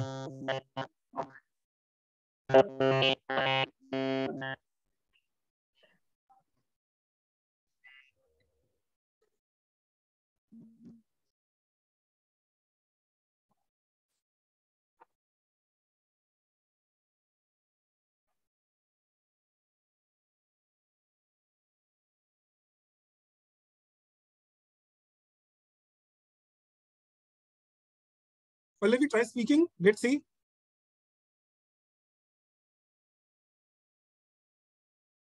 Can you hear us, Pallavi? Please try speaking. No, you aren't audible.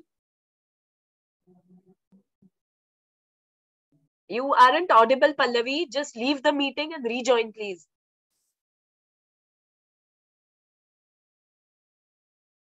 Pallavi, please leave the meeting and join again. Yeah, I'll just take this time to confirm, to speak about a few important messages. Firstly, about the tip being in, uh, in the right atrium. You know, the whole idea is that with various positional movement, standing, supine, so the whole tip should be within the atrium. So the previous concept was to leave the tip at the junction of right atrium and the SVC. So in that, what happens when the patient is moving or sometimes in a different position. So there is a chance that the tip might come out of RA and enter the RA. So that becomes more thrombogenic. So now the universal thing is that the tip should be within the uh, the atrium.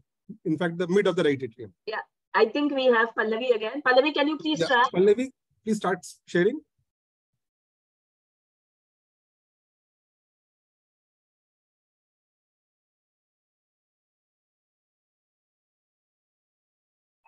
Smriti, can you find out if Pallavi has an issue or we go ahead with Neha and uh, Dr. Ashwini and then Pallavi can join us a little later. Yes, yeah. ma'am. I think we should do that till then. I'll just. No, no, she's here. She's here. She's here. Let's continue. Okay. Pallavi, can you just speak? Pallavi? Am I audible now? Yes, yes. this is much better. Thank you. So Bye. I'm not sure till where I was audible. No, but, you can uh, start from this. Uh, yeah, yeah.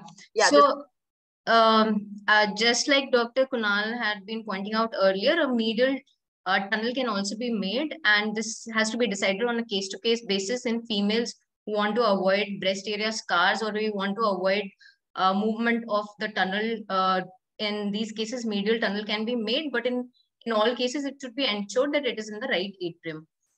Uh, here are just two x-rays showcasing what can be wrong with the tip here is a tip which is too high. You can see it is at the uh, at the carina, which means it, it is at the SVC-RA junction, and it will cause uh, flow problems later on definitely.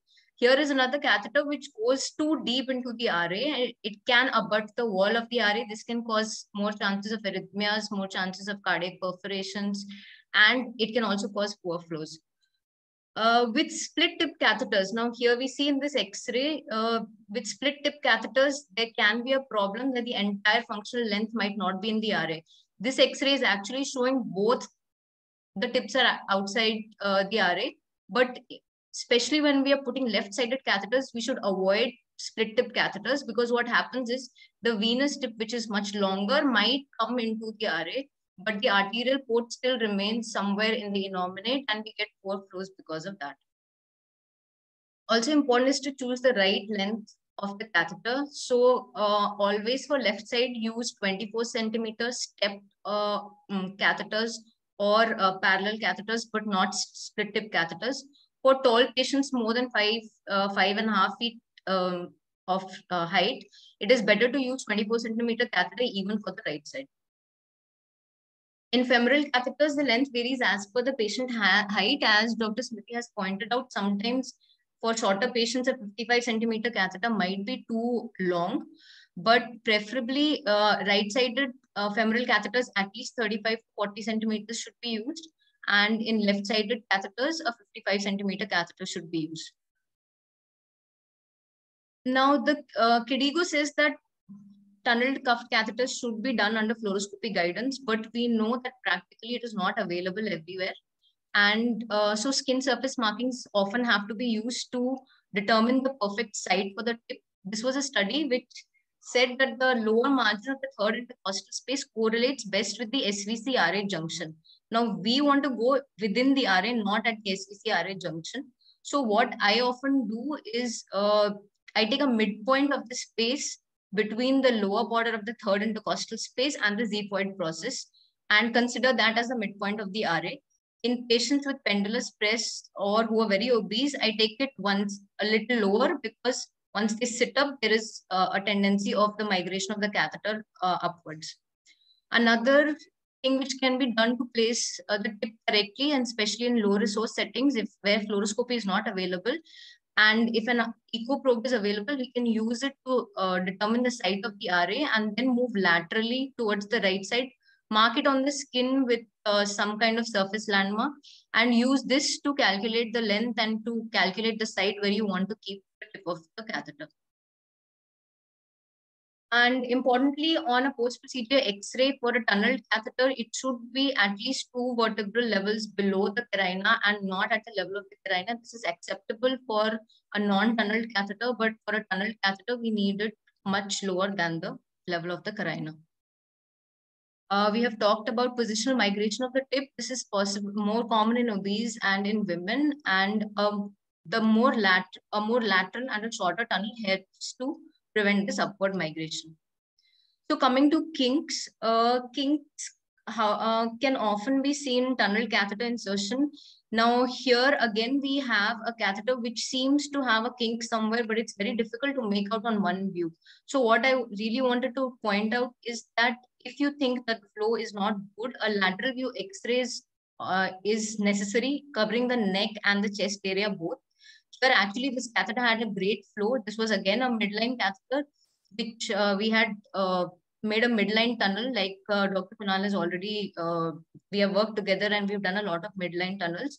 Uh, so there is no, there was no kink in this catheter and it was a great flow. But whether there is a kink or not, you'll be able to delineate only with a lateral view.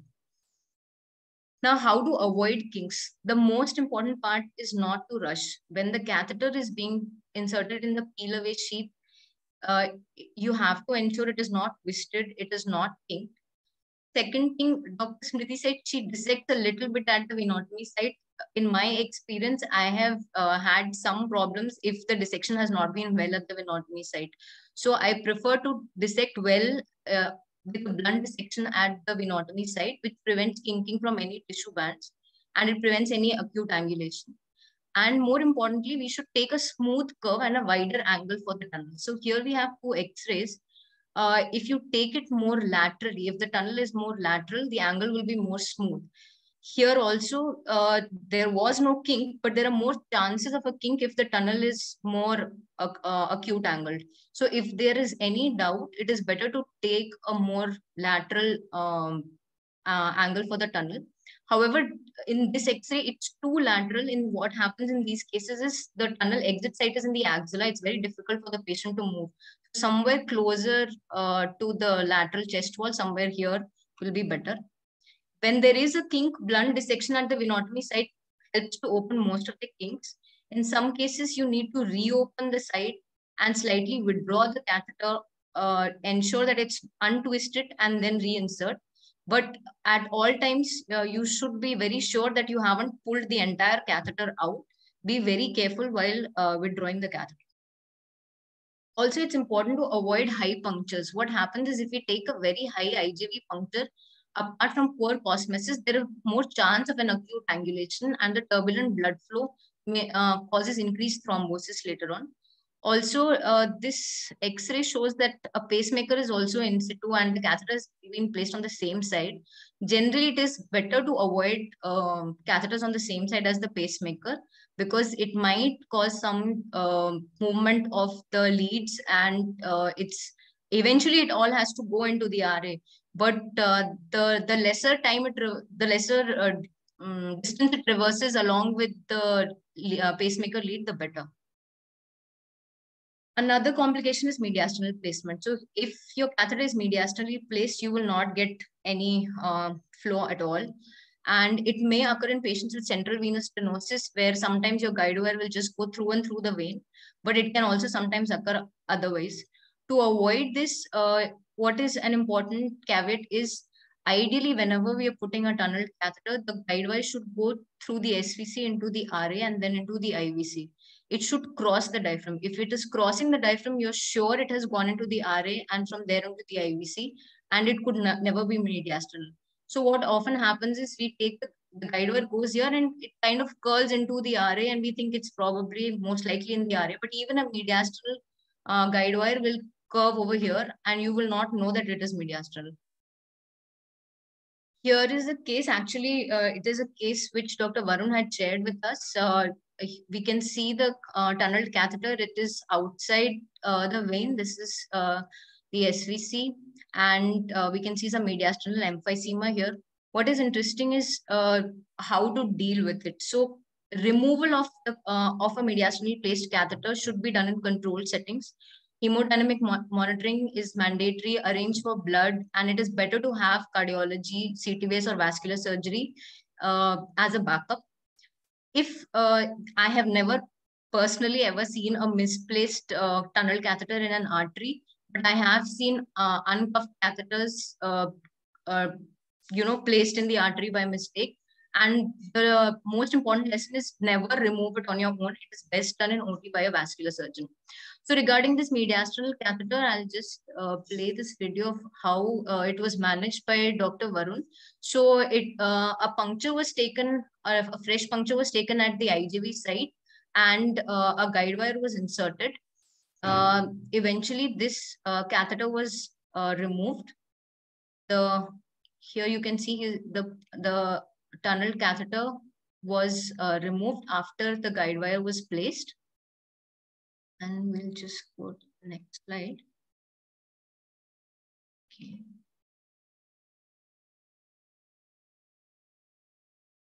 Uh, so a balloon venoplasty was done. Here you can see the balloon was dilated and there's some wasting of the balloon at the site, which was probably the venopuncture site.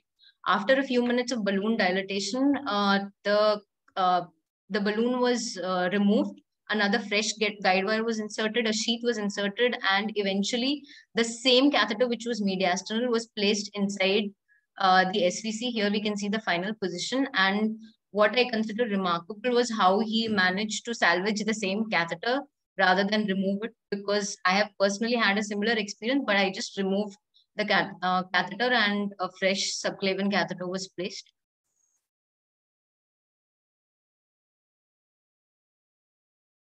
Uh, now, uh, another interesting X-ray. So here we see a left-sided uh, catheter has been placed. Uh, now, what do you think? What are the possibilities where this catheter could be? Is this in the mediastinum? Is it in the accessory hemiazygos? Is it in the left intercostal vein? Or is it in the is it in a left-sided SVC? So for this, we need to uh, very thoroughly know the anatomy. If we are placing PCCs, we need to thoroughly know the venous anatomy of the thorax. Uh, if we see the left side, uh, which was significant in this patient, the left IJ and EJ uh, are meeting, meeting here, and then the subclavian meets in, and drains into the left innominate. But also importantly, the left intercostal vein drains into the innominate. And sometimes it can there can be rudimentary connections between this intercostal vein and the accessory hemiazygos vein or the coronary sinus, which drains directly into the right atrium.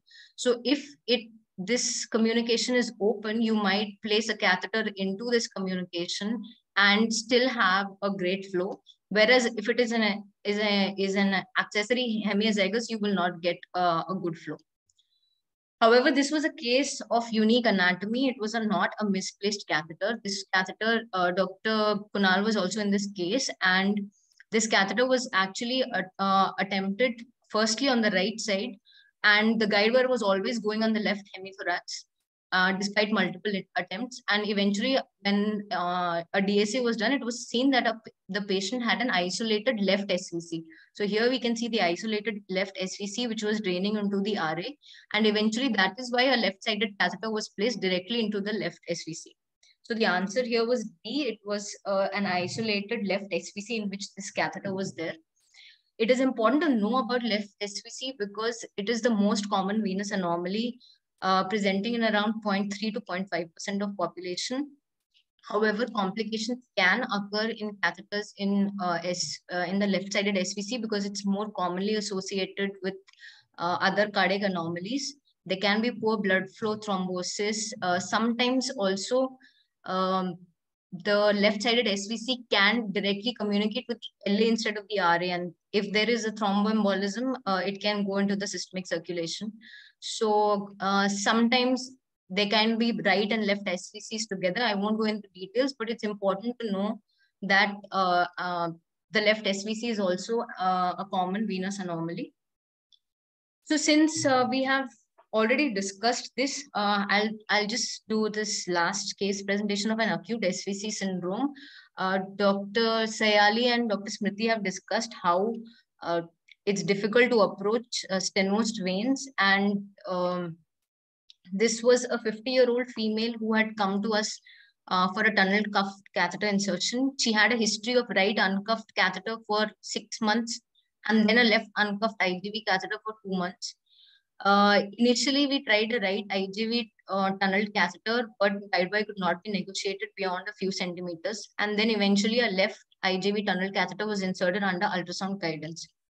Now, what happened is within 10 minutes of the procedure completion, the patient became breathless and although and had difficulty in talking and slurring of speech.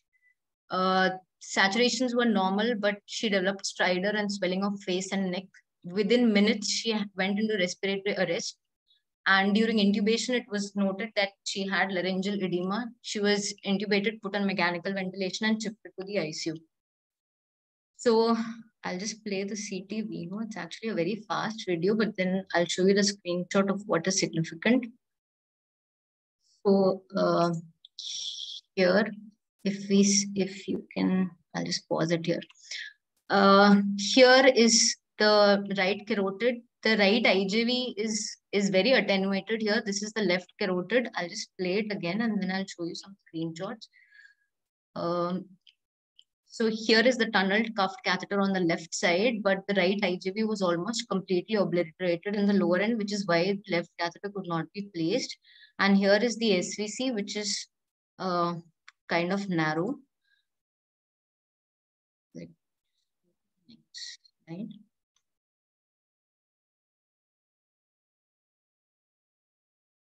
So uh, if you see, this was the left-sided tunnel catheter which was inserted. The right IJV was attenuated in the lower half and uh, the SVC was also quite narrow, which is what uh, probably it was the left IJV which was draining all of the laryngeal and pharyngeal muscles, which is why she developed uh, immediate laryngeal edema within 10 minutes of um, the catheter insertion and had to be intubated. Eventually, we had to remove the left catheter on the same day as it was inserted. Uh, facial and neck swelling gradually improved over five days and she could be extubated after 48 hours.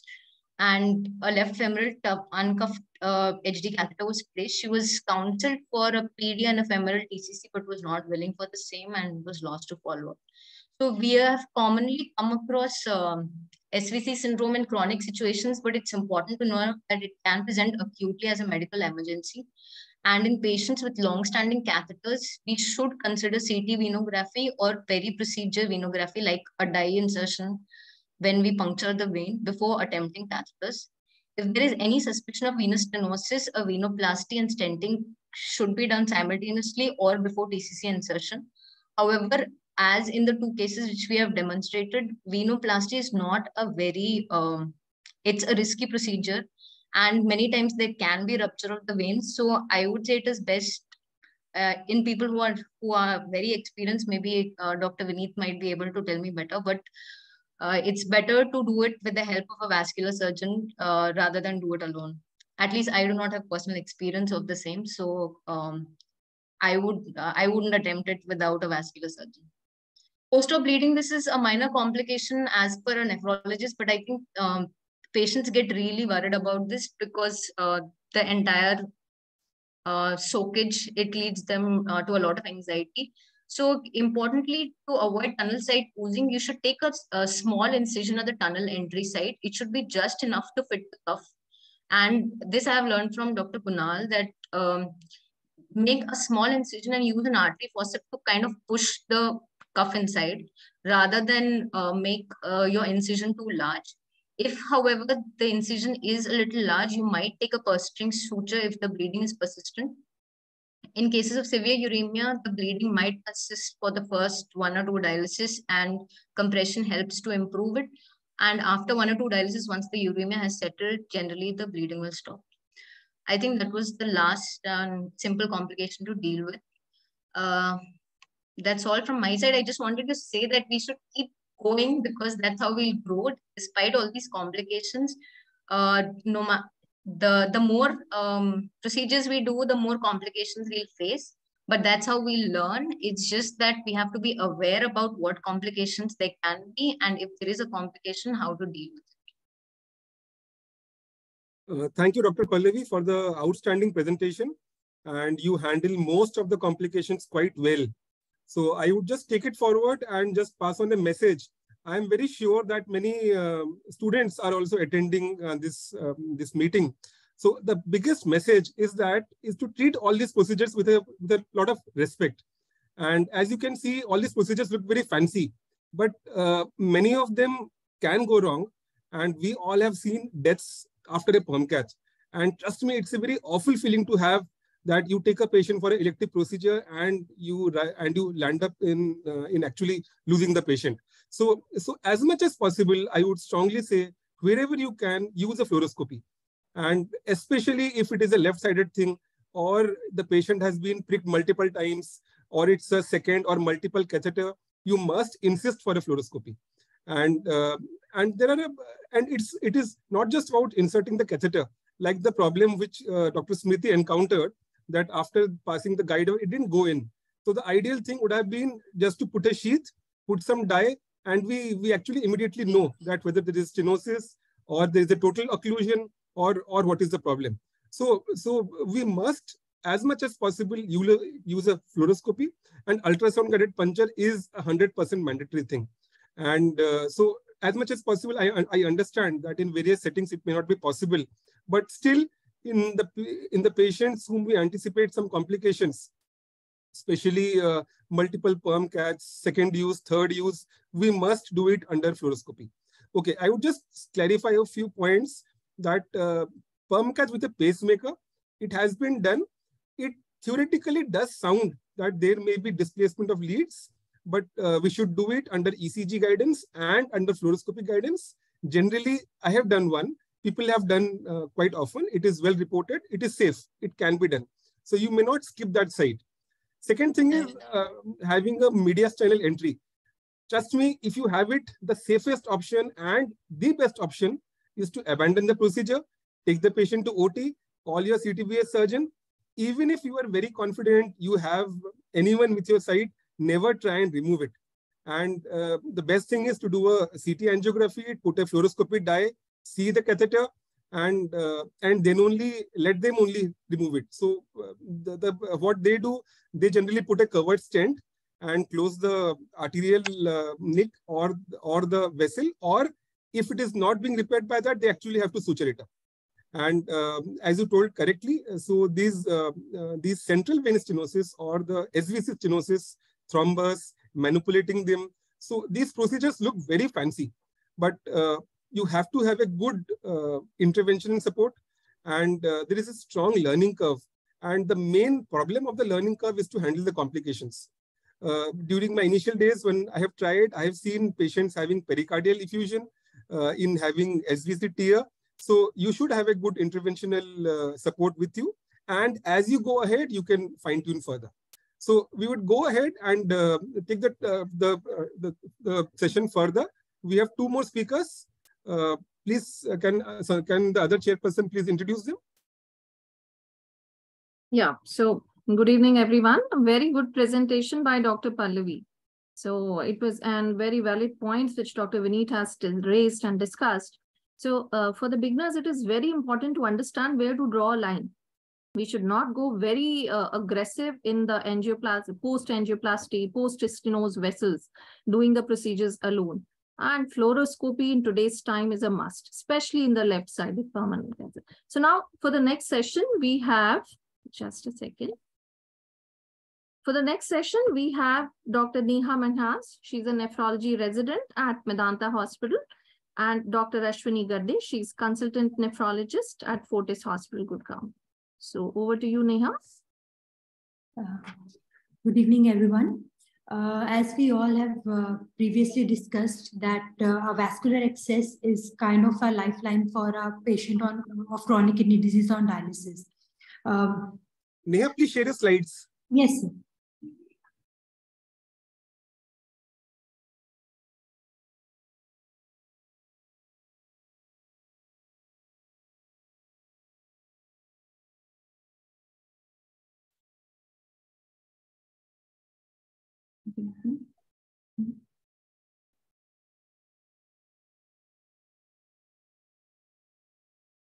Siddharth, can you help them? Siddharth, are you here? Siddharth. Yes, ma'am. Uh, Help like, them. uh, ma'am, slide share is on. Uh, now, ma'am, you have to just click on this share screen button, which is the green one in middle. Neha, look at the bottom of the screen. Ma'am, at the bottom of the screen in the center, there is a share screen button, ma'am. We are already doing that, but despite that, it seems to be not happening. Uh, ma'am, uh, just by clicking on share screen, the screen will appear in front of you, a small screen, which consists all the videos which has been opened, ma'am. All the all the windows which has been opened. So you have to just select the presentation presentation. out of that, ma'am. When you click on share screen, no, there will be a page that pops up. Click on PowerPoint presentation. Is your PowerPoint presentation open? Huh, yes. Uh, I am doing that, but somehow I don't know, it's not happening. Let me just. Uh, ma'am, you do one thing. You click on share screen and just select the screen option there. So we will be able to view your entire uh, this There desktop. is no, no such option at screen. No, you have to just just uh, move your cursor.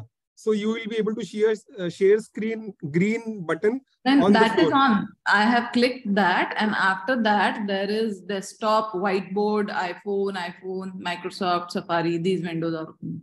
Dr. Ashwini, why don't you share your presentation with one of us and maybe we can share the Uh, maybe that's the better idea.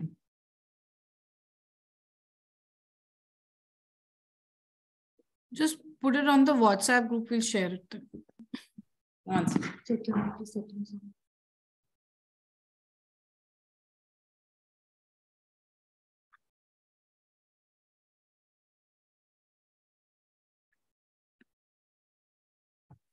Or even, ma'am, you can put in uh, the chat box also. So we will get quickly, ma'am. No, it's not happening.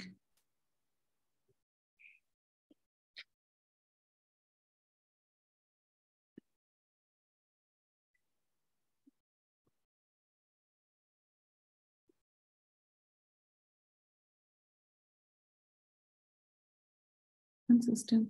After after I nothing is working actually. After I done that, there is allow Zoom to share your screen, open system preference, security and privacy to grant access.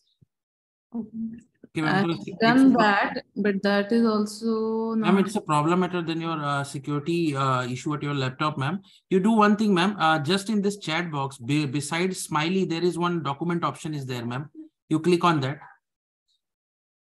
Smriti, uh, is it possible for us to go ahead with the panel discussion, then come back to the talks? Yes, ma'am. we do. Uh, can you uh, uh, invite the, Dana, can you invite the moderator for the panel group discussion so that we go ahead with the discussion? Meanwhile, Siddharth, help the girls out and the girls will uh, transfer the PowerPoint to Pallavi or Smriti. Okay, ma'am. Okay, ma'am. Is it okay, Smriti? Yes, ma'am. We'll do that. Right, right. Go ahead. Smriti. Ravi, Uh, I invite Dr. Ravi, Lo- you'll have to unmute yourself. Yeah. So, uh, good evening, everyone. So, uh, this evening has been truly enriching in terms of knowledge and shared experiences about the vascular access. And our speakers today have actually been very elaborate about their respective topics. So, that leaves very little room for doubts and uncertainty. But uh, I would still use this opportunity to learn more from our esteemed panelists. So, uh, first to uh, let's gauge the magnitude of the issue first. So, my first question would be to Dr. Vineet that uh, what percentage of your patient pool would actually depend on uh, PermCath as the vascular access? Uh, yeah. So so uh, my center is actually a PD first center and a fully transplant center. So so all my OPD patients generally who are following up on the on a OPD basis, they do have a fistula. By the time they reach CKD4 at a creatinine of three, four, we start making a fistula. And when they approach dialysis, uh, if he has got a transplant prospect, then he goes for transplant, or else we first convince him for a peritoneal dialysis. And so around 60% go on a, on a PD for us. Those who are not going and have a uh, and have a access fistula, so we make a fistula. So uh, perm caths are only those people who come to us or our center first time for a dialysis. In them also, um, uh, I would say that uh, as much as possible, if he is stable does not have pulmonary edema, any hyperkalemia or any complication, he goes straight away on a perm cath. We put an elective perm cath without uh, doing any double lumen catheter through the jugulars, and then we started dialysis. And so I would say that in the patients presenting first time, so they are only the uh, patients who go on a perm cath who, who uh, don't have any sign of complication. And I uh, and sometimes I would also share that uh, patients of acute kidney injury or RPRF who have come for the first time and we anticipate that uh, they may uh, require prolonged dialysis. Even those patients we have taken on a perm cath and the actually the infection rate is quite less and they and they do quite well. Even if you land up removing the perm cath after about two three weeks, it is still better than using a stiffer uh, temporary catheter, giving him infection and increasing the chances of venous thrombosis. So I would agree with this approach actually uh, you work in a really in a in an ideal world ideal world scenario actually i should say. I mean like we work with more of uh, patients dependent on hd rather than pd so yes maybe the uh, pool of the patients would get classified into two categories in your case and maybe they would fall in the one side of the uh, wall in our case in most of the other areas in uh, india but yes i would say that uh, in most of the other centers i would say a considerable number of patients would fall into that category.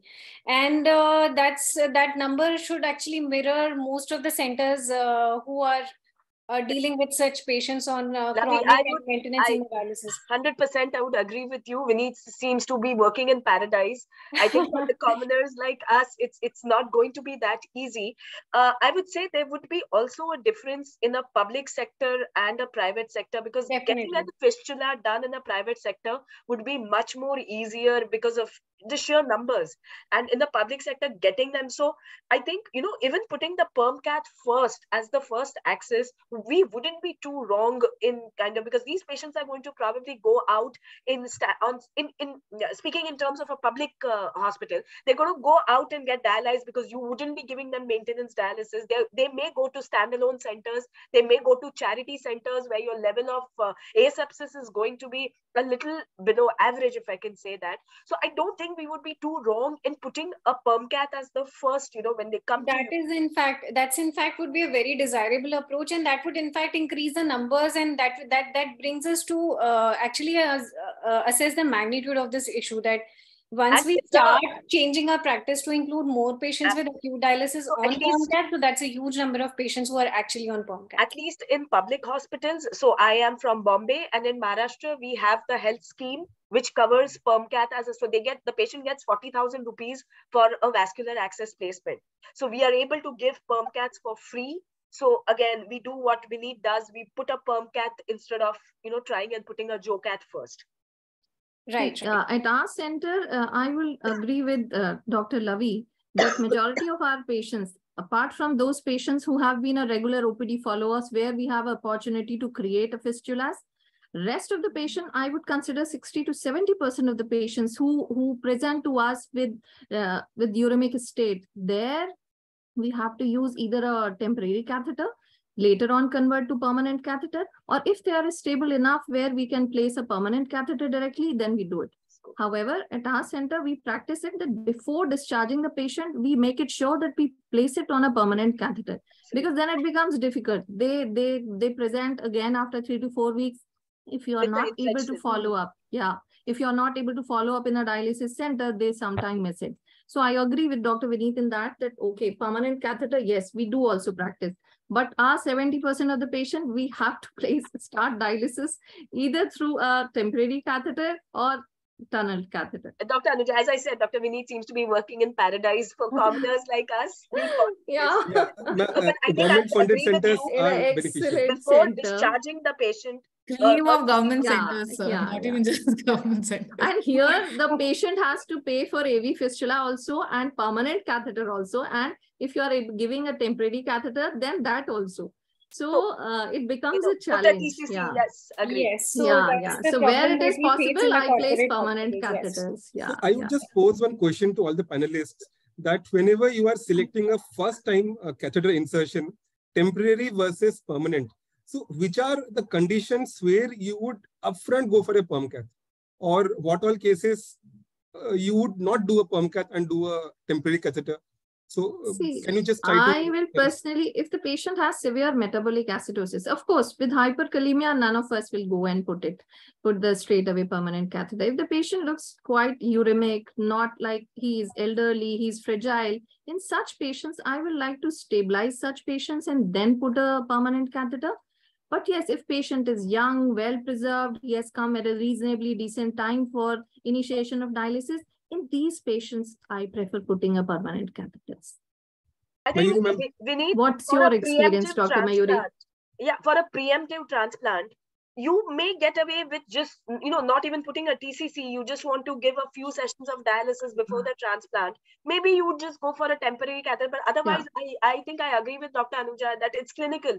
Patient stable, you go with, you know, initiation, you go with a planned TCC and do the initiation. If the patients come in volume overload and, you know, he requires dialysis in the next half an hour, you just put up, you know, it's always the patient first. So, so I would say what we follow is that if we are needing to put a jugular, we straight away put a perm cath. So only emergency is a pulmonary edema or encephalopathy or hyperkalemia. So we do a femoral. So because that saves one more uh, puncture Yeah, into the yeah, jugular, yeah. Jugular, prevents for the thrombosis. That I agree. That I That, agree. that's exactly what we are and doing. that's what all the guidelines say that we should minimize the use of uh, stiffer catheters Hmm. and maximize the use of perm caths. So apart from the paradise that Dr. Vineet is working in, I think we agree on most of the points regarding the placement of a perm cath. And there is another point I think everybody would agree with it. The, uh, the most common problem that we face is that a poor functioning, malfunctioning catheter, which is mostly attributed to a thrombus.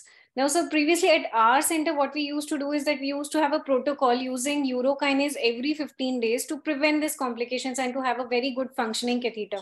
But now that urokinase is not readily Not available, available. so most of us have actually landed us landed in a soup. So my question to all of you would be like, how are you dealing with this problem? Do you are you using any alternative agents or alternative strategies to counter this problem?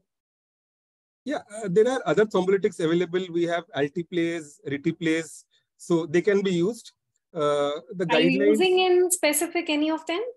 Yeah, we are using alteplase. Okay. And, Are you uh, using it prophylactically? She's no, asking. no, no, not prophylactically, asked for- therapeutically.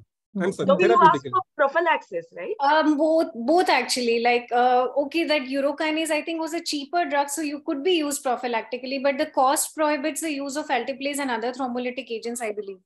So again, like the question would be like, okay, wh- what alternatives are you using in which setting, and maybe whatever dose you're using would be helpful to the audience. See, my center, we only use it therapeutically. But what you're saying is right. Even now, some centers do um, prophylactic monthly administration of a thrombolytic, but that is not recommended and we don't do it. So I we, think it's risky. I mean, our patients It's are risky. anyway very, uh, you know, uh, prone to bleeding. yeah. Uh, So we use the 20 milligram vial and it costs, uh, and uh, we use two milligram per patient. And though the guidelines say that we should use it one time, but uh, we use it two milligram and close it and keep it in the fridge and use for the next patient. Next patient. So generally, nothing happens, and uh, many of us, uh, I mean, um, uh, many people are doing that. So that we do. So this you're talking of urokinase. no uh, alteplase, Actilyse. How Actilyse or long, Actilyse. sir, have you kept it for maximum duration? They say one month, but within two weeks, generally we finish off. So at, Actually, uh, it- even regarding alteplase, even s- I used it in a couple of my patients, if I might add here. So that uh, that 18 mg injection was actually was uh, available for 17,000. So we used uh, 2 mg injection in each port, 2 mg dose for each port and kept it for the interdialytic duration of 48 to 72 hours uh, based on the dialysis frequency. So the good part, part was that we could achieve that uh, uh, good catheter function in all the patients that we used the uh, drug in, and there was no untoward incidence of bleeding. And this was also therapeutic use rather than to prevent catheter thrombosis. Yeah, at my at our center, we only use it for therapeutic purposes. We don't use it as a prophylaxis. But yes, once urokinase was available, it was readily used. But later on, we have used in couple of patients alteplase, but uh, not not much, not much. much. I have had an experience of using tenecteplase thanks to the government setting I'm working in. So it's 40,000 per injection, but that was the only available thrombolytic in the hospital. Uh, so the I read a study in which they're using like 2 milligram per um, lumen for 120 minutes. And if it doesn't improve, you you give two uh, milligram again for another 120 minutes. So we have personally used in two patients. In one of the patients, it improved immediately after like 120 minutes. But in the second patient, despite the second installation, there was no improvement. And then uh, we kept the two milligram instilled overnight. After that, but there were beautiful flows of more than 300 ml per minute in both the lumens. Uh, but like Dr. Vineet said, uh, we have kept this uh, tenecteplase uh, for use for the next patient because uh, we have used only 4 milligram and it's a 40 milligram vial. I'm sure I don't know how, yeah, how long we can use it again. No, so how long did these flows last? So, so the catheter was okay it, after that? So the catheter was working well. It's been one month post procedure and uh, we haven't yet used the remaining for any other patient. Let's hope we get a patient quickly so that we can finish it off.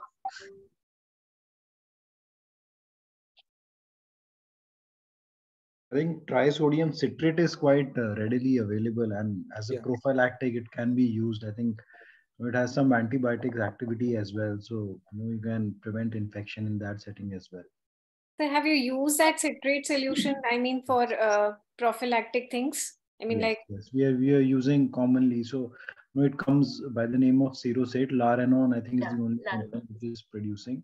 So okay. you know you dilute it to up to 10%. It is, it is I think around 41.7%. So it has to be made around 4%. So you dilute it and keep it uh, in the catheter as a lock.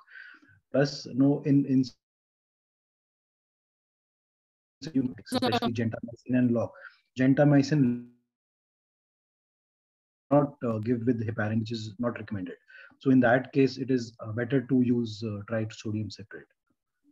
So uh, is it uh, to be used for all the after every session? Do you use it or you use it for like? Uh, I mean, like, is, is there a special? It is it is like it is a lock. It is a lock solution. So you use it. Just use a simple lock solution. So okay. even even for temporary catheters, you know, we are using because a lot of time, you know, as Doctor, you know, we were previously discussing, you know, most of our patient, you know, whether you start or what kind of access you are starting will depend on a lot on the financial status of the patient, whether insurance is there or cash patient. Do want a perm cath than a fistula for any cash patient. So in that, you have to prolong the life of the catheter.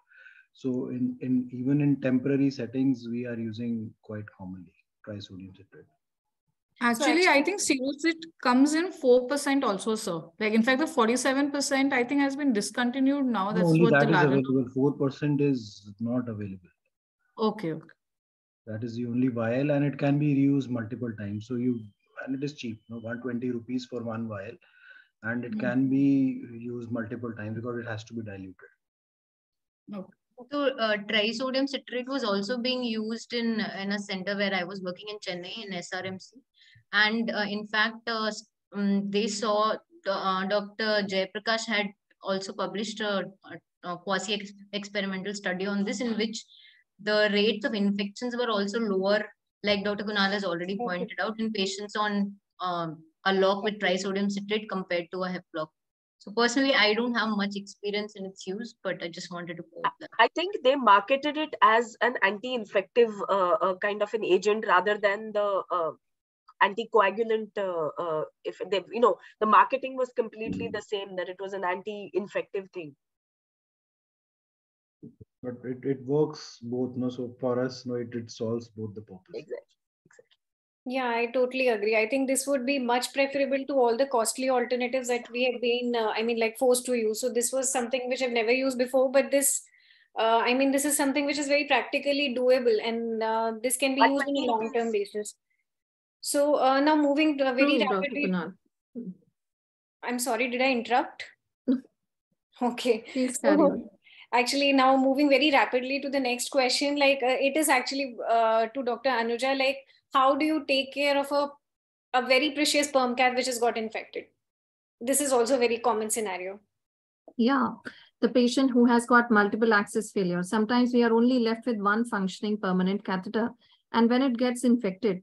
So ideal is that you start patient uh, send blood cultures start empirical antibiotics and then you take uh, if it is very precious if you have a temporary access available place a temporary catheter and start doing dialysis through that and give it an antibiotic lock.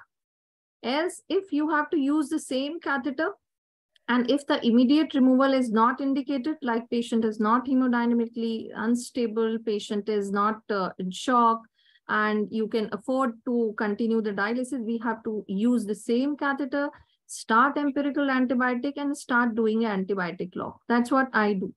And later on, if in like 48, 72 hours and maybe three to four days, patient improves, then we can continue using it. The problem arises when the patient is not improving then at that situation, I don't know, we have to take it out and then look at the other options available. Uh, that's actually a, a, very practical point that you have highlighted uh, from the audience here.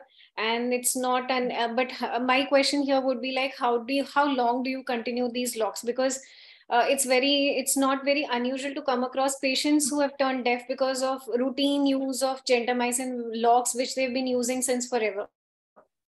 See ideally uh, for that, I mean, for like, the catheters where immediate removal is indicated and we are not able to do it and we are somehow managing with these catheters, these locks should be continued for indefinite time. We don't know what. However, we should avoid using gentamicin in that situation.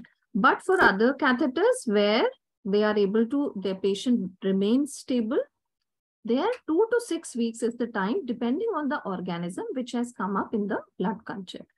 If it is like two weeks, two to three weeks is a good enough time, usually, which I have seen. Yes, in case a precious catheter, staph, aureus and other things. However, for a staph, pseudomonas, we all know that we have to remove the catheter. There is no other way out. Else, we can use the antibiotic locks for two to six weeks for the situations where we cannot remove it. Uh, thank you, ma'am, for that. What's insight. your Dr. Mayuri, Dr. Vineet? I mean, I, I just had got... one point to add here that uh, this is a trick that I learned from my infectious disease specialist. So they, that, that team used to tell us that try and give the antibiotics through the catheter in case you need to salvage the catheter. So when you are giving your systemic antibiotics, rather than putting a central line or an IV line, use the same catheter as a central venous access and give the antibiotics through that so that's one other doable thing that you can do even if the patient is uh, even if the patient is hemodynamically stable and you are giving it on an opd basis when he comes to dialysis you know you can give it post session use the yeah after after discharge we can use it but yeah. once the patient yeah. is admitted I usually prefer using another axis, another central line or a peripheral no, this access is for, for somebody, giving this. This is for somebody whom you Who's need coming, to salvage the line yeah. you don't have any other access. On those, those patients, yeah, definitely. It's one, one, are you not risking, uh, no, uh, sorry, are you not risking no giving more endotoxemia to those patients you know, while using the catheter? Using I don't know. I have been doing this and I haven't worsened any patient but I, I really don't know what the answer for this is. I'll go back I think the question here is like if there's an alternative access available that would it it's actually it's what even I do that to avoid the catheter that is infected for the same the reason that Dr. Kunal has highlighted the risk of bacteremia and endotoxemia. But I think this question is more uh, directed to address the issue that uh, there are patients who have no absolutely no lines available and they come at a situation when they have uh, infection in that one particular catheter that was, uh, I mean, so, their lifeline for a very long time. So, so, so this is something which is tricky in. Uh, what what we do is that if it is a very precious catheter, only line available, no other line available. So you first try with antibiotics, maybe wait for two or three sessions, and in case not happening, suppose he has got a right IJV, so uh, take a fresh puncture through that same vessel, insert a temporary catheter, remove the perm cath, so generally, if the catheter is out, most of the seeding is gone and they improve. Give him a course of antibiotics. So after he's infection free, exchange with a new catheter. So this I have tried in some patients, but again, so some of them don't actually uh, respond and uh, we have to uh, remove it. I think okay, um, a totally valid point. And now I would, uh, and actually all the points were so practically important. Now I would quickly move to the last question of the session since the time is winding up. Naveen, can I just question, interrupt you? Okay. Uh, Lavi, I'm sorry. Uh, I think uh, Dr. Ashwini's presentation ah. is loading. So can okay. we just try and take uh, that first? Sure, sure, we may. Sure. We'll just try to try if, she, uh, if she's able Because of the multiple videos and it's not uploading completely. Okay, you I will start without any videos. And if just in case, if my luck, if something is happening, then we will proceed with videos. Otherwise, we'll just leave it. Is that okay? Yeah, yeah. yeah. Let's okay. give it a try once.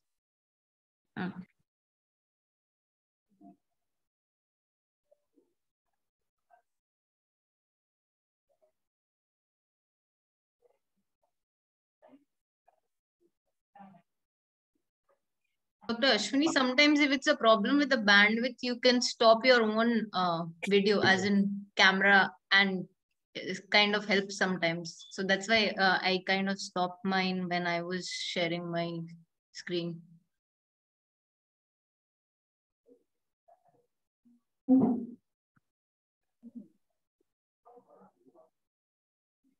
We can see your screen. You can just put it on uh, slideshow. Yeah.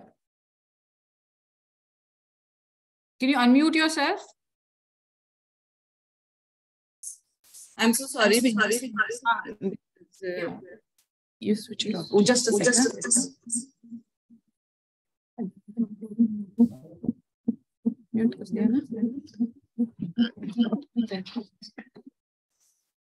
Okay. So um, I'm so sorry because many much of the delay happened, and despite that, I'm unable to upload my videos also. So, uh, however, we try to reduce the use of permacaths in our situation. Around 30 to 40 percent of our patients end up getting the permacath as their access. Now, it can be inertia from the patient side. It can be their only inevitable access possible, or it could be because of uh, really, as in unfortunately, could be a doctor's inertia also.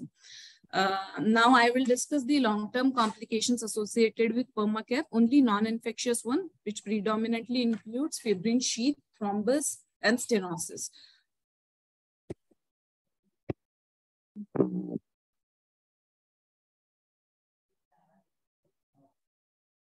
Okay, so um, if you do the venography of all the patients with permacath, majority will have some amount of uh, fibrin sheath, some amount of uh, thrombosis, but these will be asymptomatic ones. Now, the thing which are important, the patients which are important and will bother you is patients with catheter dysfunction, obviously, who have low blood flow, who are less, uh, who are unable to give sufficient URR, we are unable, there is no backflow in the catheter, and if there is obvious symptoms in terms of swelling of the limbs or the face.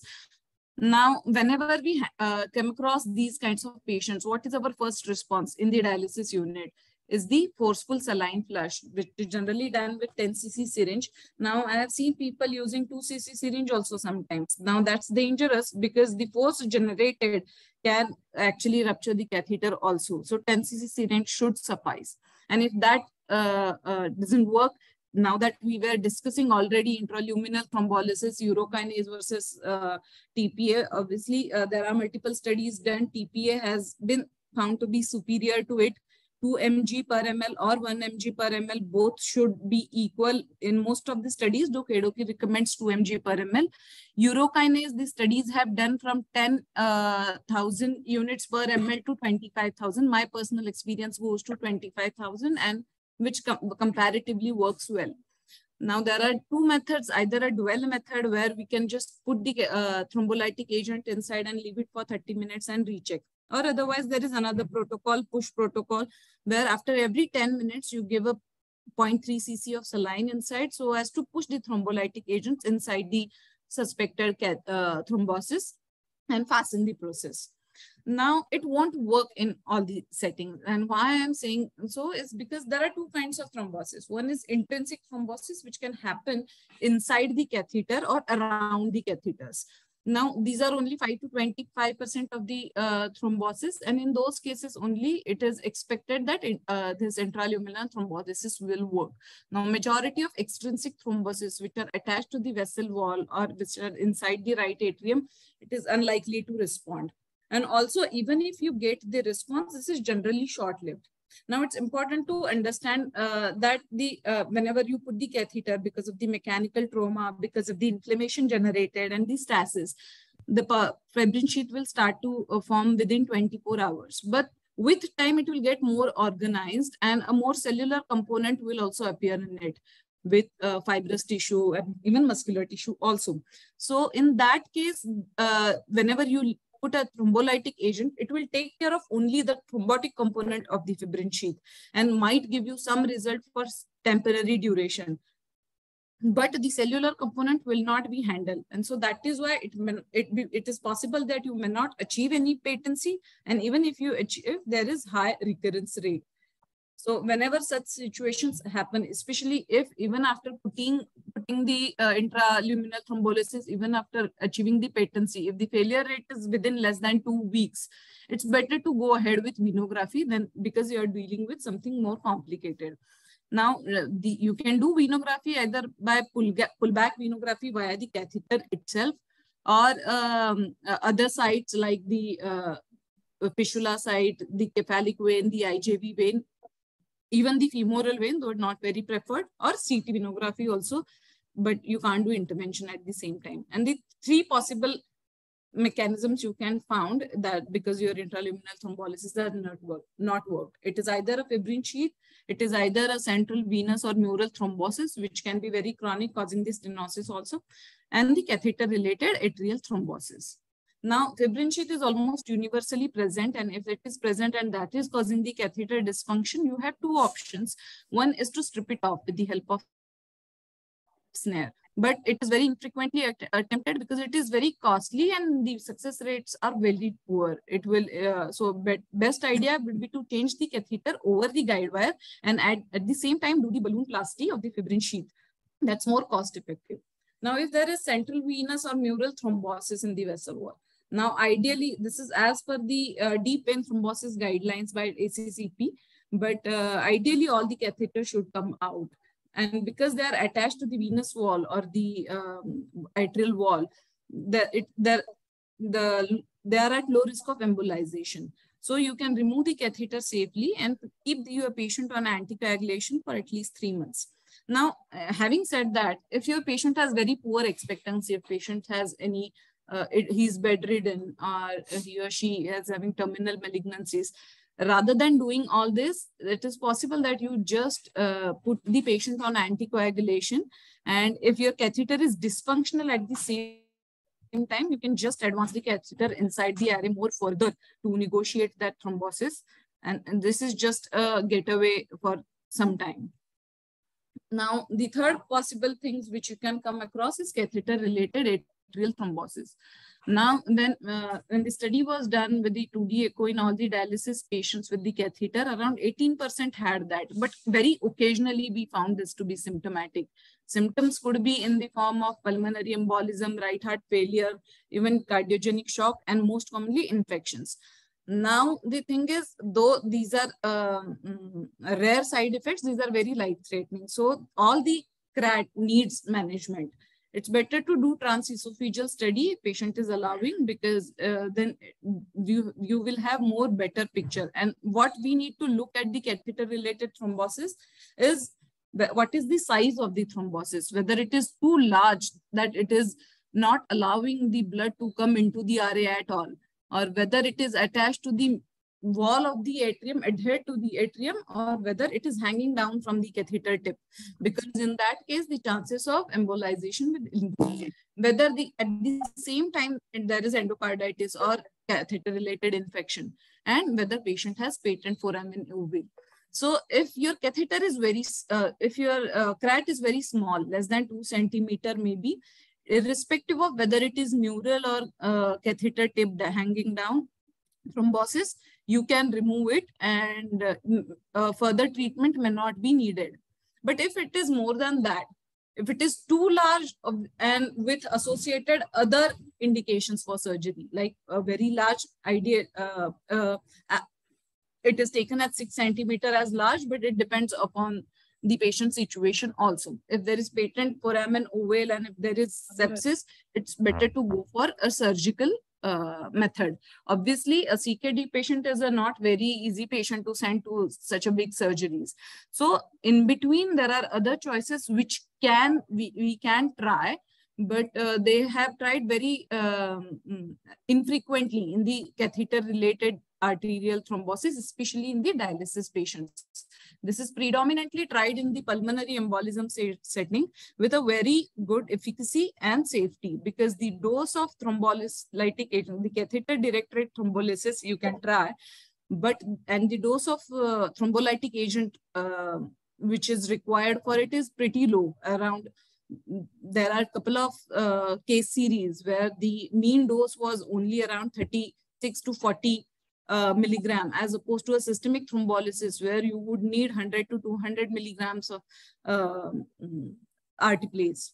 So uh, the catheter-directed thrombolysis is one option which we can try where uh, alteplase at 2 mg per ml will flow through the catheter and you repeat the echo around uh, 8 to 12 hourly to check whether there is any reduction in the catheter size.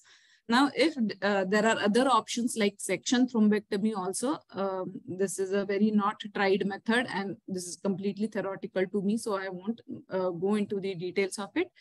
If despite intervention, uh, there is residual thrombus and if the your patient, as I said, cannot undergo these complicated procedures, uh, then we are left with no other choice but to keep the patient on systemic anticoagulations. And, uh, and, and one report, there is almost 50% of resolution even with systemic anticoagulation. It's just that um, at the same time, the catheter, or you should, at the, some point of time, you should take the removal, uh, decision of catheter removal also. So if the uh, thrombus is attached to the atrial wall, you can uh, do this uh, catheter-directed thrombolysis uh, or may not do that if the patient doesn't allow, but remove the catheter safely because chances of embolization are less.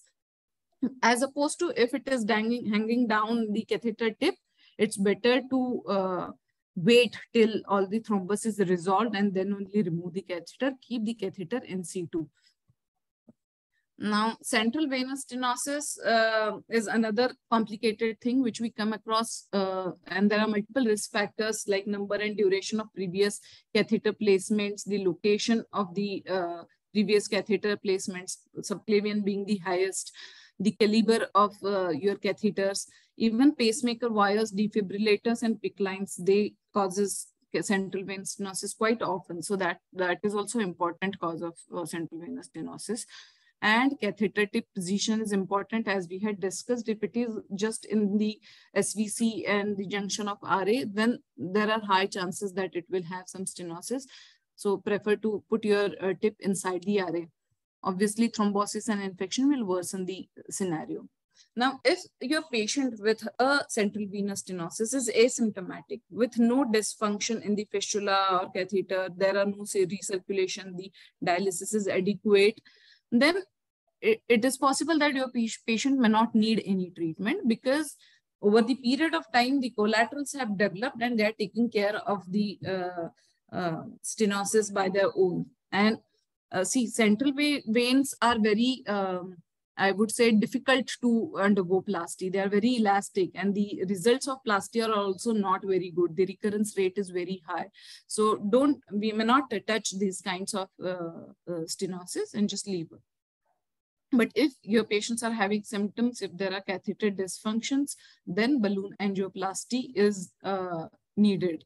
Uh, in that case, uh, only plasty at first go, but if on table, if, if your vascular surgeon or interventional radiologist feels that the elastic recoil is significant, then he might consider stenting the uh, lesion.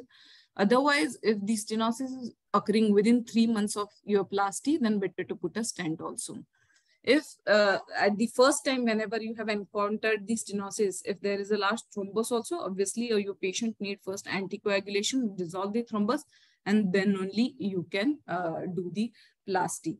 So um, now there are uh, few patients um, where um, there is a permacath we are planning to have a fistula also and there is stenosis so it, uh, whenever there is a thrombus or stenosis, remove the permacath and at the same time make the AV fistula.